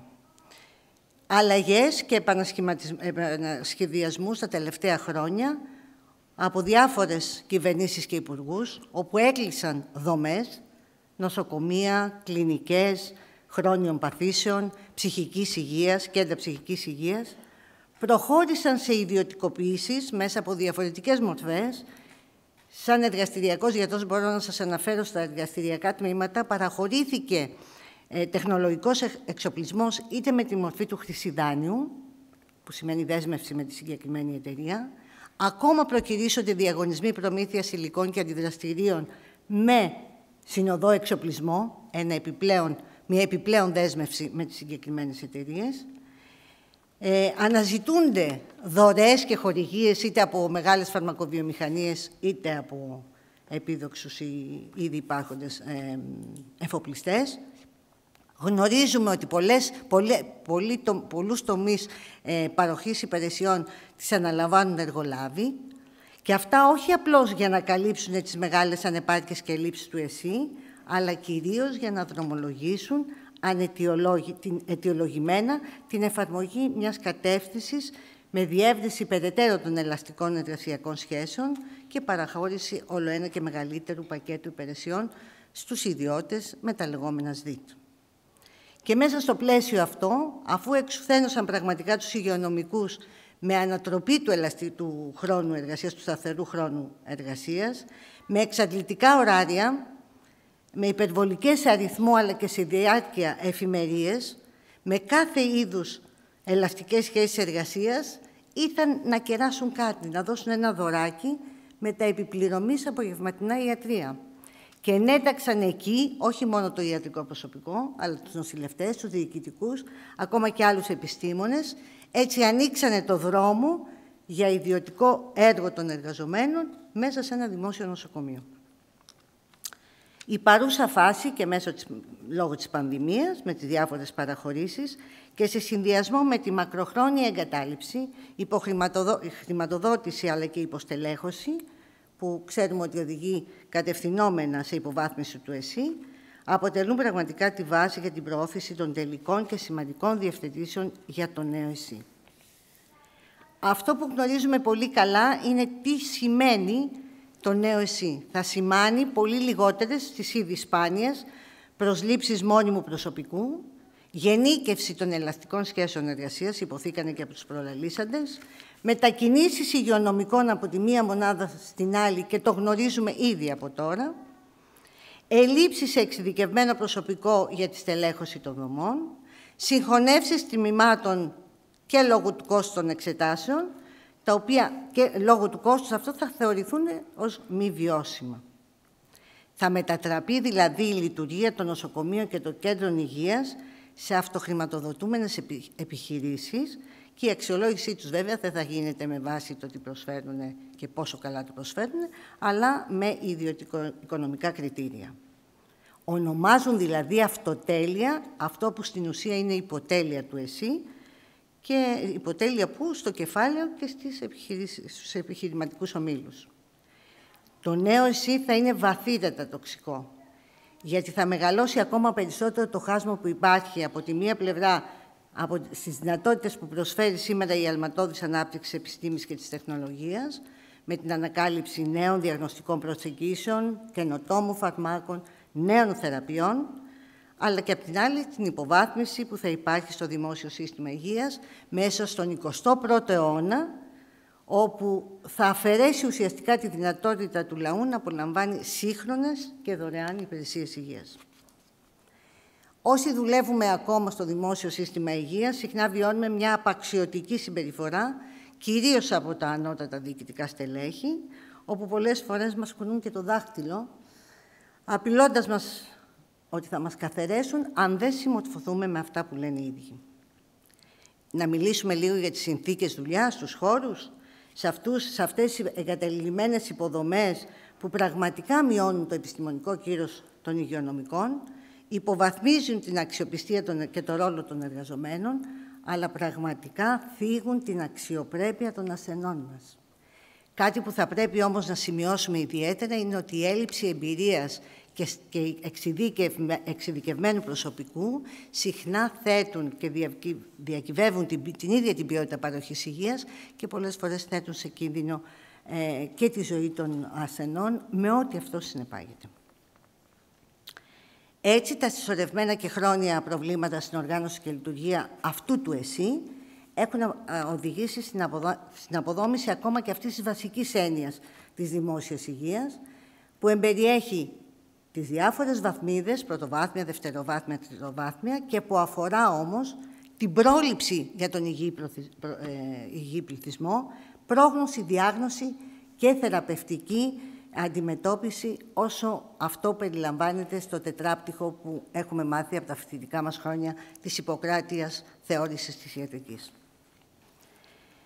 Η πανδημία που ζούμε και που από ό,τι φαίνεται δυστυχώς θα την δούμε στην εξέλιξή της και για μεγάλο χρονικό διάστημα, δημιούργησε πραγματικά πρωτόγνωρες καταστάσεις και ανέδειξε με τον πιο γλαφυρό τρόπο, αφενός με την ανεπάρκεια του συστήματος, αφετέρου όμως ανέδειξε και μία δυναμική του δημόσιου ρόλου του συστήματος υγείας ε, και απέδειξε με τον πιο τρανό τρόπο την αναγκαιότητα ενός πραγματικά δημόσιου, καθολικού και δωρεάν συστήματος υγείας, μακριά από τη λογική του κέρδους, του ανταγωνισμού και της ελεύθερης αγοράς, που θα έχει διαχρονική αξία, δεν θα περιορίζεται μόνο στο να αντιμετωπίσει την πανδημία, θα προέρχεται μέσα από ένα κεντρικά σχεδιασμένο, σχεδιασμό με βάση τις πραγματικές ανάγκες, θα είναι ανθρωποκεντρικό και θα αξιοποιεί όλες τις σύγχρονες εξελίξεις στην επιστήμη και στην τεχνολογία, δίνοντας έμφαση κυρίως στο συντονισμό και στην ολοκληρωμένη διαδικασία παροχής υγείας, που δεν σημαίνει μόνο μη νόσος. Πιο συγκεκριμένα και άμεσα που μπορούμε να δούμε θα πρέπει να μας απασχολήσουν και ζητήματα που αφορούν την ε, κοστολόγηση και με τη δυνατότητα συνταγογράφησης νέων εργασιακών ε, εξετάσεων. Και αυτά είναι μια σειρά από μοριακές, από ορολογικές και απεικονιστικές εξετάσεις που μέχρι σήμερα εξ ολοκλήρου επιβαρύνουν τον ασθενή. Ε, αφορούν στην ασφαλιστική ένταξη και κάλυψη νέας τεχνολογίας παρεμβάσεων, όπως είναι η υποβοηθούμενη η εξωματική γονιμοποίηση, ο προγενετικός έλεγχος, η διαγνωστική και θεραπευτική προσέγγιση γενετικών διαταραχών, αυτά που λέμε μεταβολικά ή γενετικά ε, προκαλούμενα νοσήματα, καθώς και ένα πολύ έτσι, πρόσφατο ε, και επίκαιρο θέμα, τα βασικά θέματα οργάνωσης και συντονισμού των μεταμοσχεύσεων. Είτε αυτά, αυτές οι μεταμοσχεύσεις αφορούν συμπαγή όργανα, είτε αρχαίγωνα αιμοποιητικά κύτταρας, μεταμοσχεύσεις μυελού ή ομφαλοπλακοντιακού αίματος. Ένα αντικείμενο που πέρα από τις ιατρικές έχει και κοινωνικές προεκτάσεις και που θα πρέπει να αφορά αποκλειστικά και μόνο ένα δημόσιο σύστημα υγείας. Κλείνοντας, θα ήθελα να επισημάνω τη σημαντικότητα ενός σχεδιασμού και υλοποίησης προγραμμάτων συνεχιζόμενης εκπαίδευσης, μετεκπαίδευσης, εξειδίκευσης, σε αριθμό και σε αναλογία όλων των κλάδων των ειδικοτήτων των υγειονομικών, ώστε να διασφαλίζεται με αυτόν τον τρόπο η επαρκής και αδιάλειπτη στελέχωση του συστήματος υγείας. Βρισκόμαστε σε ένα σημείο όπου αυτή η συνέχιση της γνώσης και της εμπειρίας κάπου διακόπτεται, γιατί υπάρχει μια μεγάλη τρύπα ανάμεσα στους παλαιότερους, όπως εγώ, και στους νεότερους, οι οποίοι δυστυχώς δεν έχουν έρθει ακόμα και τους περιμένουμε. Το δημόσιο σύστημα υγείας θα πρέπει να αποτελέσει ένα μοντέλο για την αξιοποίηση της πανεπιστημιακής προκατα... προκαταθήκης που έχουμε από τη γνώση, με το βλέμμα βέβαια στραμμένο στην κοινωνία και όχι στην ελεύθερη αγορά. Θα μπορούσαμε να δούμε ένα ενιαίο συνεχιζόμενο εκπαιδευτικό πρόγραμμα σε συνεργασία της δημόσιας υγείας με τα πανεπιστήμια, όπου η κεκτημένη γνώση θα αξιοποιείται σε μέγιστο βαθμό και η όποια έρευνα γίνεται, και αυτό είναι η νέα γνώση, θα αναπτύσσεται έτσι ώστε να καλύπτει τις πάγιες ανάγκες, αλλά και να υποστηρίζει τις προεπτικές εξέλιξεις αυτής της ίδιας της κοινωνίας. Έτσι, επεκτείνοντας ή παραφράζοντας αυτό που έχουμε σαν μήνυμα, σαν σύνθημα το πρώτο στα μαθήματα πρώτη στον αγώνα, το γνωρίζουμε από τα μαθητικά μας και τα φοιτητικά μας χρόνια, σε πρώτη στον αγώνα, αλλά πρωτοπόρη στα επιστημονικά δρόμενα και με το γεγονός ότι αναγνωρίζουμε ότι η γνώση και η έρευνα είναι δύναμη, λοιπόν αυτή τη δύναμη τη χρειαζόμαστε σήμερα όσο ποτέ άλλοτε, για να παλέψουμε για ένα δημόσιο και δωρεάν σύστημα υγείας προσαρτισμένος στις ανάγκες του λαού και μόνο. Ευχαριστώ πολύ.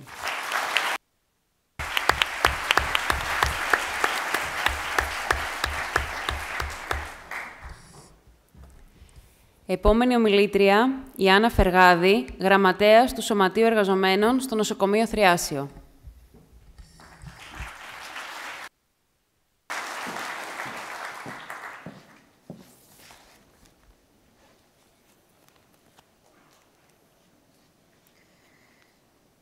Συναγωνιστές, συναγωνίστριες, συνάδελφοι υγειονομικοί, καλησπέρα. Το όνομά μου το ακούσατε. Εργάζομαι στο χώρο της υγείας εδώ και 30 χρόνια τα τελευταία 26 στο Γενικό Νοσοκομείο Θριάσιος Ελευσίνας.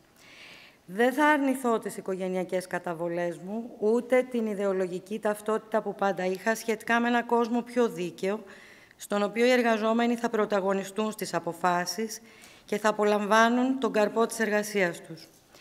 Παρ' όλα αυτά, δεν υπήρξα ούτε είμαι μέλος του Κομμουνιστικού Κόμματος Ελλάδας. Δηλώνω φίλη, συνοδοιπόρος. Εδώ και κάποια χρόνια όμως αποφάσισα πως όφυλα να περάσω από τη θεωρία στην πράξη και στη συμμετοχή. Γιατί εκείνο που σου προσάπτουν τα χελιδόνια είναι η άνοιξη που δεν έφερες, όπως είπε ο Οδυσσέας Ελίτης. Έτσι συνεργάστηκα στο νοσοκομείο εργαζομένων του νοσοκομείου μου με συναδέλφους κομμουνιστές και δέχθηκα τη θέση του γραμματέα.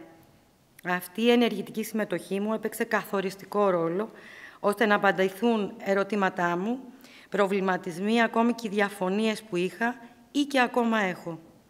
Μέσα από τα προβλήματα προκλήσεις που κληθήκαμε να αντιμετωπίσουμε μέσα από τα επαναλαμβανόμενα μνημόνια τόσων ετών, εφαρμοζόμενες πολιτικές κόντρα στο λαϊκό συμφέρον, πανδημία, είναι για μένα πια πιο ξεκάθαρο από ποτέ. Πόσο σημαντική είναι η συλλογική αγωνιστική διεκδίκηση και δράση που με επιμονή ειλικρίνεια και συνέπεια δείχνει το Κομμουνιστικό Κόμμα Ελλάδας. Πόσο απαραίτητο είναι για κάθε συνάδελφο που προβληματίζεται για τη σημερινή κατάσταση, αλλά και για όλα όσα προετοιμάζουν για εμάς χωρίς εμάς, να στέκεται δίπλα σε ξεκάθαρες απόψεις και επιλογές. Να κάνει το βήμα και να ενισχύει τη φωνή εκείνων που μπαίνουν μπροστά. Είναι εφικτό να οδηγηθούμε σε δρόμους για μια ζωή που μας αξίζει κόντρα στη βαρβαρότητα της εποχής μας; Ναι, όταν δρούμε συλλογικά και με ξεκάθαρο προσανατολισμό. Εξάλλου, την άνοιξη, αν δεν τη βρεις, τη φτιάχνεις. Βρισκόμαστε ήδη στο τέταρτο, πέμπτο, ποιος μετράει πια, κύμα της πανδημίας του COVID-19. Το δημόσιο σύστημα υγείας παραμένει υποχρηματοδοτούμενο από τον κρατικό προϋπολογισμό, με νέα μείωση φέτος, υποστελεχωμένο με εξαντλημένο ανθρώπινο δυναμικό, τμήματα που υπολειτουργούν ή κινδυνεύουν να κλείσουν και με απαρχαιωμένο εξοπλισμό. Και ποια είναι η κυβερνητική πρόταση για το νέο ΕΣΥ, νέες μειώσεις χρηματοδότησης, ελαστικές μορφές εργασίας για τους εργαζόμενούς του και φυσικά σύμπραξη δημοσίου ή ιδιωτικού τομέα. Είναι ξεκάθαρο που θα οδηγήσει αυτό. Δυσμενή συνέπεια στην παροχή υγείας όλων των πολιτών, απαξίωση του εθνικού συστήματος υγείας και φυσικά ως τελικό αποτέλεσμα ενίσχυση του ιδιωτικού τομέα υγείας, στον οποίο έχουν πρόσβαση μόνο αυτοί που μπορούν να τον πληρώσουν. Είναι απαραίτητο, συνεπώς, να ενισχύσουμε στην πράξη τις συνεπείς μαχητικές φωνές που στέκονται δίπλα μας και υπερασπίζονται τα συμφέροντά μας με ενεργή συμμετοχή και συμπόρευση μαζί τους. Η θέση κάθε υγειονομικού πρέπει να είναι να αρνείται να υποτάξει την επιστήμη του στη λειτουργία του νοσοκομείου επιχείρηση, να αρνείται να αντιμετωπίζει τον ασθενή ως πελάτη, να αρνείται ότι η υγεία είναι εμπορεύσιμο αγαθό. Το οφείλουμε στους γονείς μας που αγωνίστηκαν για όσα κερδίθηκαν, στους εαυτούς μας, αλλά κυρίως στη νέα γενιά, στα παιδιά μας. Γιατί εμείς δεν ξέρουμε την ομίχλη, εμείς που λες όλα τα φτιάχνουμε στο φως. Γιάννης Ρίτσος. Ευχαριστώ πάρα πολύ και είναι τιμή μου. Ευχαριστώ.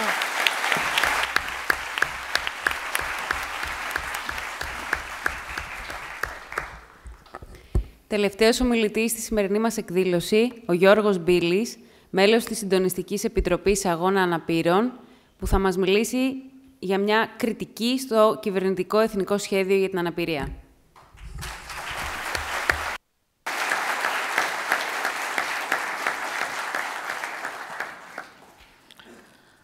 Αγαπητές σύντροφοι και συντρόφισσες, αγαπητοί προσκεκλημένοι, συζητάμε σήμερα για το νέο ΕΣΥ, ένα ποιοτικό άλμα στην αντιδραστικοποίηση του ήδη εμπορευματοποιημένου συστήματος υγείας.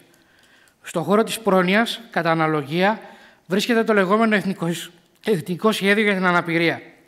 Πρόκειται για την ενοποίηση και ευάνθρηση όλων των αντιλαϊκών, αντιαναπηρικών μέτρων που επιχειρούν εδώ και χρόνια να περάσουν όλες οι κυβερνήσεις στον τομέα της κοινωνικής πολιτικής της υγείας, της πρόνοιας, με μνημόνια και χωρίς μνημόνια, όπως είναι περικοπές θεραπείων, επιδομάτων, συντάξεων αναπηρίας, το κλείσιμο των ειδικών σχολείων και των δομών πρόνοιας στο όνομα της δίθεν ένταξης και του αποδρυματισμού. Μέτρα και πολιτικές που κάτω από την παρέβαση του κινήματος αναγκάστηκαν να παγώσουν ή να περιοριστεί η εφαρμογή τους.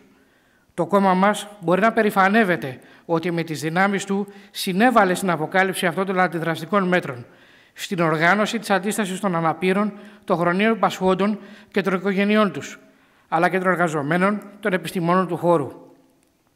Από τη μελέτη του Εθνικού Σχεδίου γίνεται φανερό ότι με όσα ευχολόγια και αν κοσμούν τέτοια κείμενα, οι αστικές κυβερνήσεις και οι διάφοροι υπηρεαλιστικοί οργανισμοί καθόλου δεν αποκλίνει από το βασικό τους στόχο. Να εφαρμοστούν στο ακέραιο οι αντιδραστικές κατευθύνσεις Ευρωπαϊκής Ένωσης, δηλαδή η ευθύνη του κράτους να περιοριστεί στην παροχή ενός βασικού πακέτου παροχών στους πιο εξαθλειωμένους και οι υπόλοιποι να διαχειριστούν την αναπηρία τους με ατομική τους ευθύνη.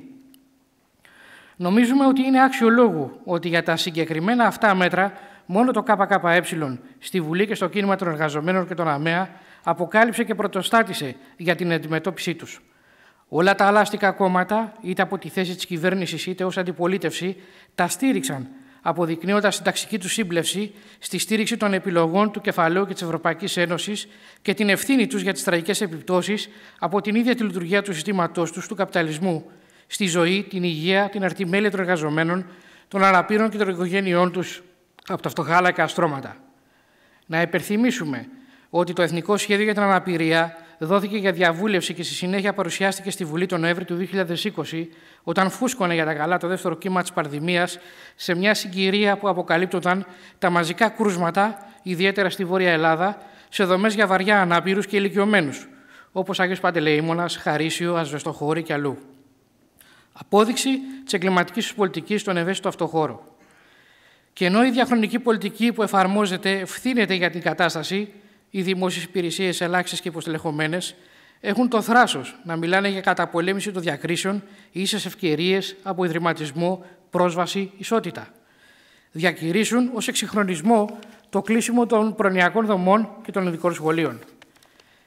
Την ίδια στιγμή γενικεύεται η λειτουργικότητα ως εργαλείο για την παραπέρα περικοπή σε θεραπείες, επιδόματα και συντάξεις αναπηρίας. Η περίφημη λειτουργικότητα που σχεδιάζεται ως δούριο ύπο από τη Νέα Δημοκρατία ήδη από το 2005 έρχεται να υπολογίσει όχι τη φύση της αναπηρίας και τις ανάγκες του αναπήρου, αλλά τη δυνατότητά του να τις αντισταθμίσει μέσω μορφωτικού επίπεδου, οικονομικών κριτηρίων και άλλα. Έτσι, δεν εξετάζουν αν ο εργαζόμενος που έμεινε ανάπηρος μπορεί να συνεχίσει τη δουλειά που έκανε, αλλά αν έχει οικογένεια που το στηρίζει, αν μπορεί να κάνει κάποια άλλη δουλειά γενικά, ανεξάρτητα από το αν του την εξασφαλίζει το κράτος. Είναι χαρακτηριστικό το αμήμητο που λένε πολλές αποφάσεις στον ΚΕΠΑ.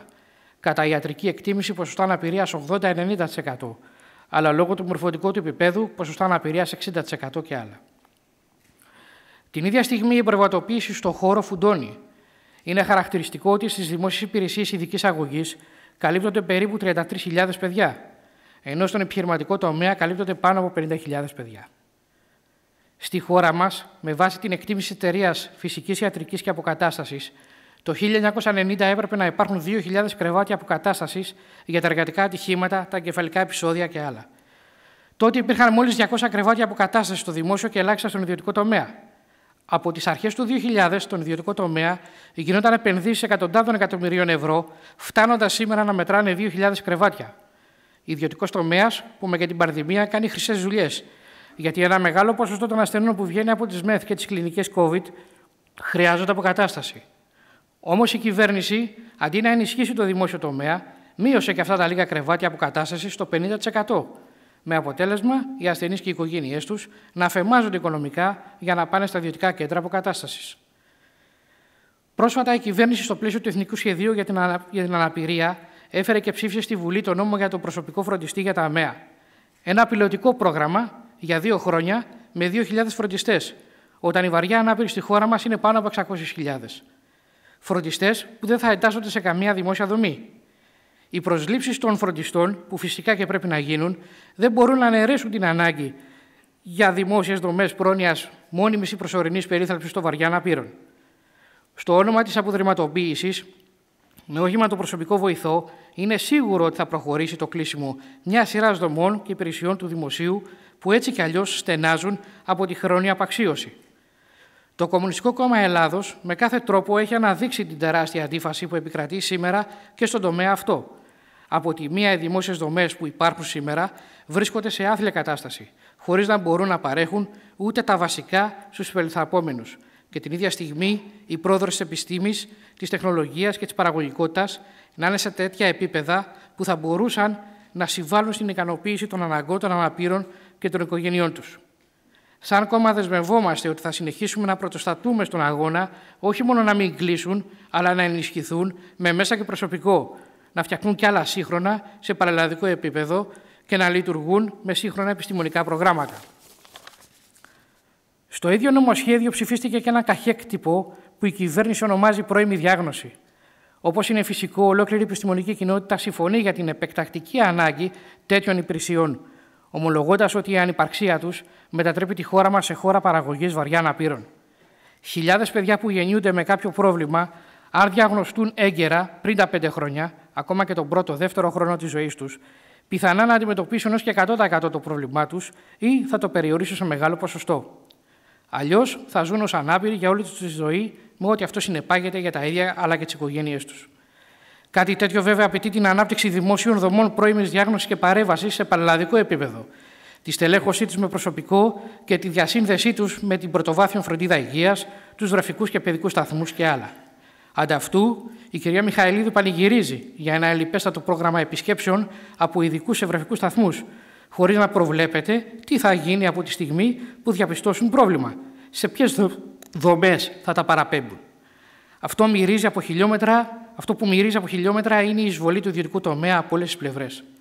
Όλα αυτά όταν στη Σοβιετική Ένωση από το 1960 γινόταν καθολικός προληπτικός έλεγχος όλων των παιδιών από 1,5 έως 3 χρονών από 12 διαφορετικές επιστημονικές ειδικότητες. Όταν εντοπίζονταν κάποιο πρόβλημα, το παιδί παραπέμπονταν στο ανάλογο επιστημονικό κέντρο, που ανάλογα τη βαρύτητα, το πρόβλημα, υπήρχε και η ανάλογη στήριξη του παιδιού και της οικογένειάς του. Η εξασφάλιση στις χώρες του σοσιαλισμού της πρώιμης διάγνωσης και έγκυρης παρέμβασης, σε συνδυασμό με τα υπόλοιπα μέτρα προληπτικής ιατρικής, υγείας και ασφάλειας στους χώρους δουλειάς, κατέτασαν τότε τη Σοβιετική Ένωση, γενικότερα τις χώρες του σοσιαλισμού, στις χώρες με τα μικρότερα ποσοστά αναπήρων. Τελειώνοντας, δύο λόγια για την ειδική αγωγή. Το Εθνικό Σχέδιο για την Αναπηρία το λέει καθαρά. Κλείσιμο των ειδικών σχολείων, στο όνομα του σχολείου για όλους, της δίθεν ένταξης και της συμπερίληψης. Επί της ουσίας, αυτό το σχολείο της κυρίας Κεραμέο και της κυβέρνησης θα είναι σχολείο αποθήκη των φτωχών, εξαθλειωμένων, αναπήρων, μεταναστών. Και όποιος θέλει να έχει καλύτερη εκπαίδευση θα πρέπει να πληρώνει στη λογική της ανταποδοτικότητας και των σχολείων των αρίστων. Όλα αυτά όταν ακόμα και σήμερα πάνω από 200.000 παιδιά με ειδικές εκπαιδευτικές ανάγκες είναι εκτός των υπηρεσιών της ειδικής αγωγής. Ζούμε στον 21ο αιώνα που η επιστήμη και η τεχνολογία έχει κάνει τεράστια βήματα για την ικανοποίηση των αναγκών των ανθρώπων. Γι' αυτό οι θέσεις και οι προτάσεις του Κομμουνιστικού Κόμματος Ελλάδος είναι πέρα για πέρα ρεαλιστικές και πατάνε στη σημερινή πραγματικότητα. Μαζί με το ΚΚΕ δίνουμε τη μάχη να μην περάσουν τα βάρβαρα αντιλαϊκά, αντρεγατικά και αντιναπερικά μέτρα, αλλά συντασσόμαστε στο πλευρό του για τη ριζική ανατροπή αυτού του σάπιου καπιταλιστικού εκμεταλλευτικού συστήματος. Για μια κοινωνία που στο κέντρο της θα είναι ο άνθρωπος και οι σύγχρονες ανάγκες του, ο σοσιαλισμός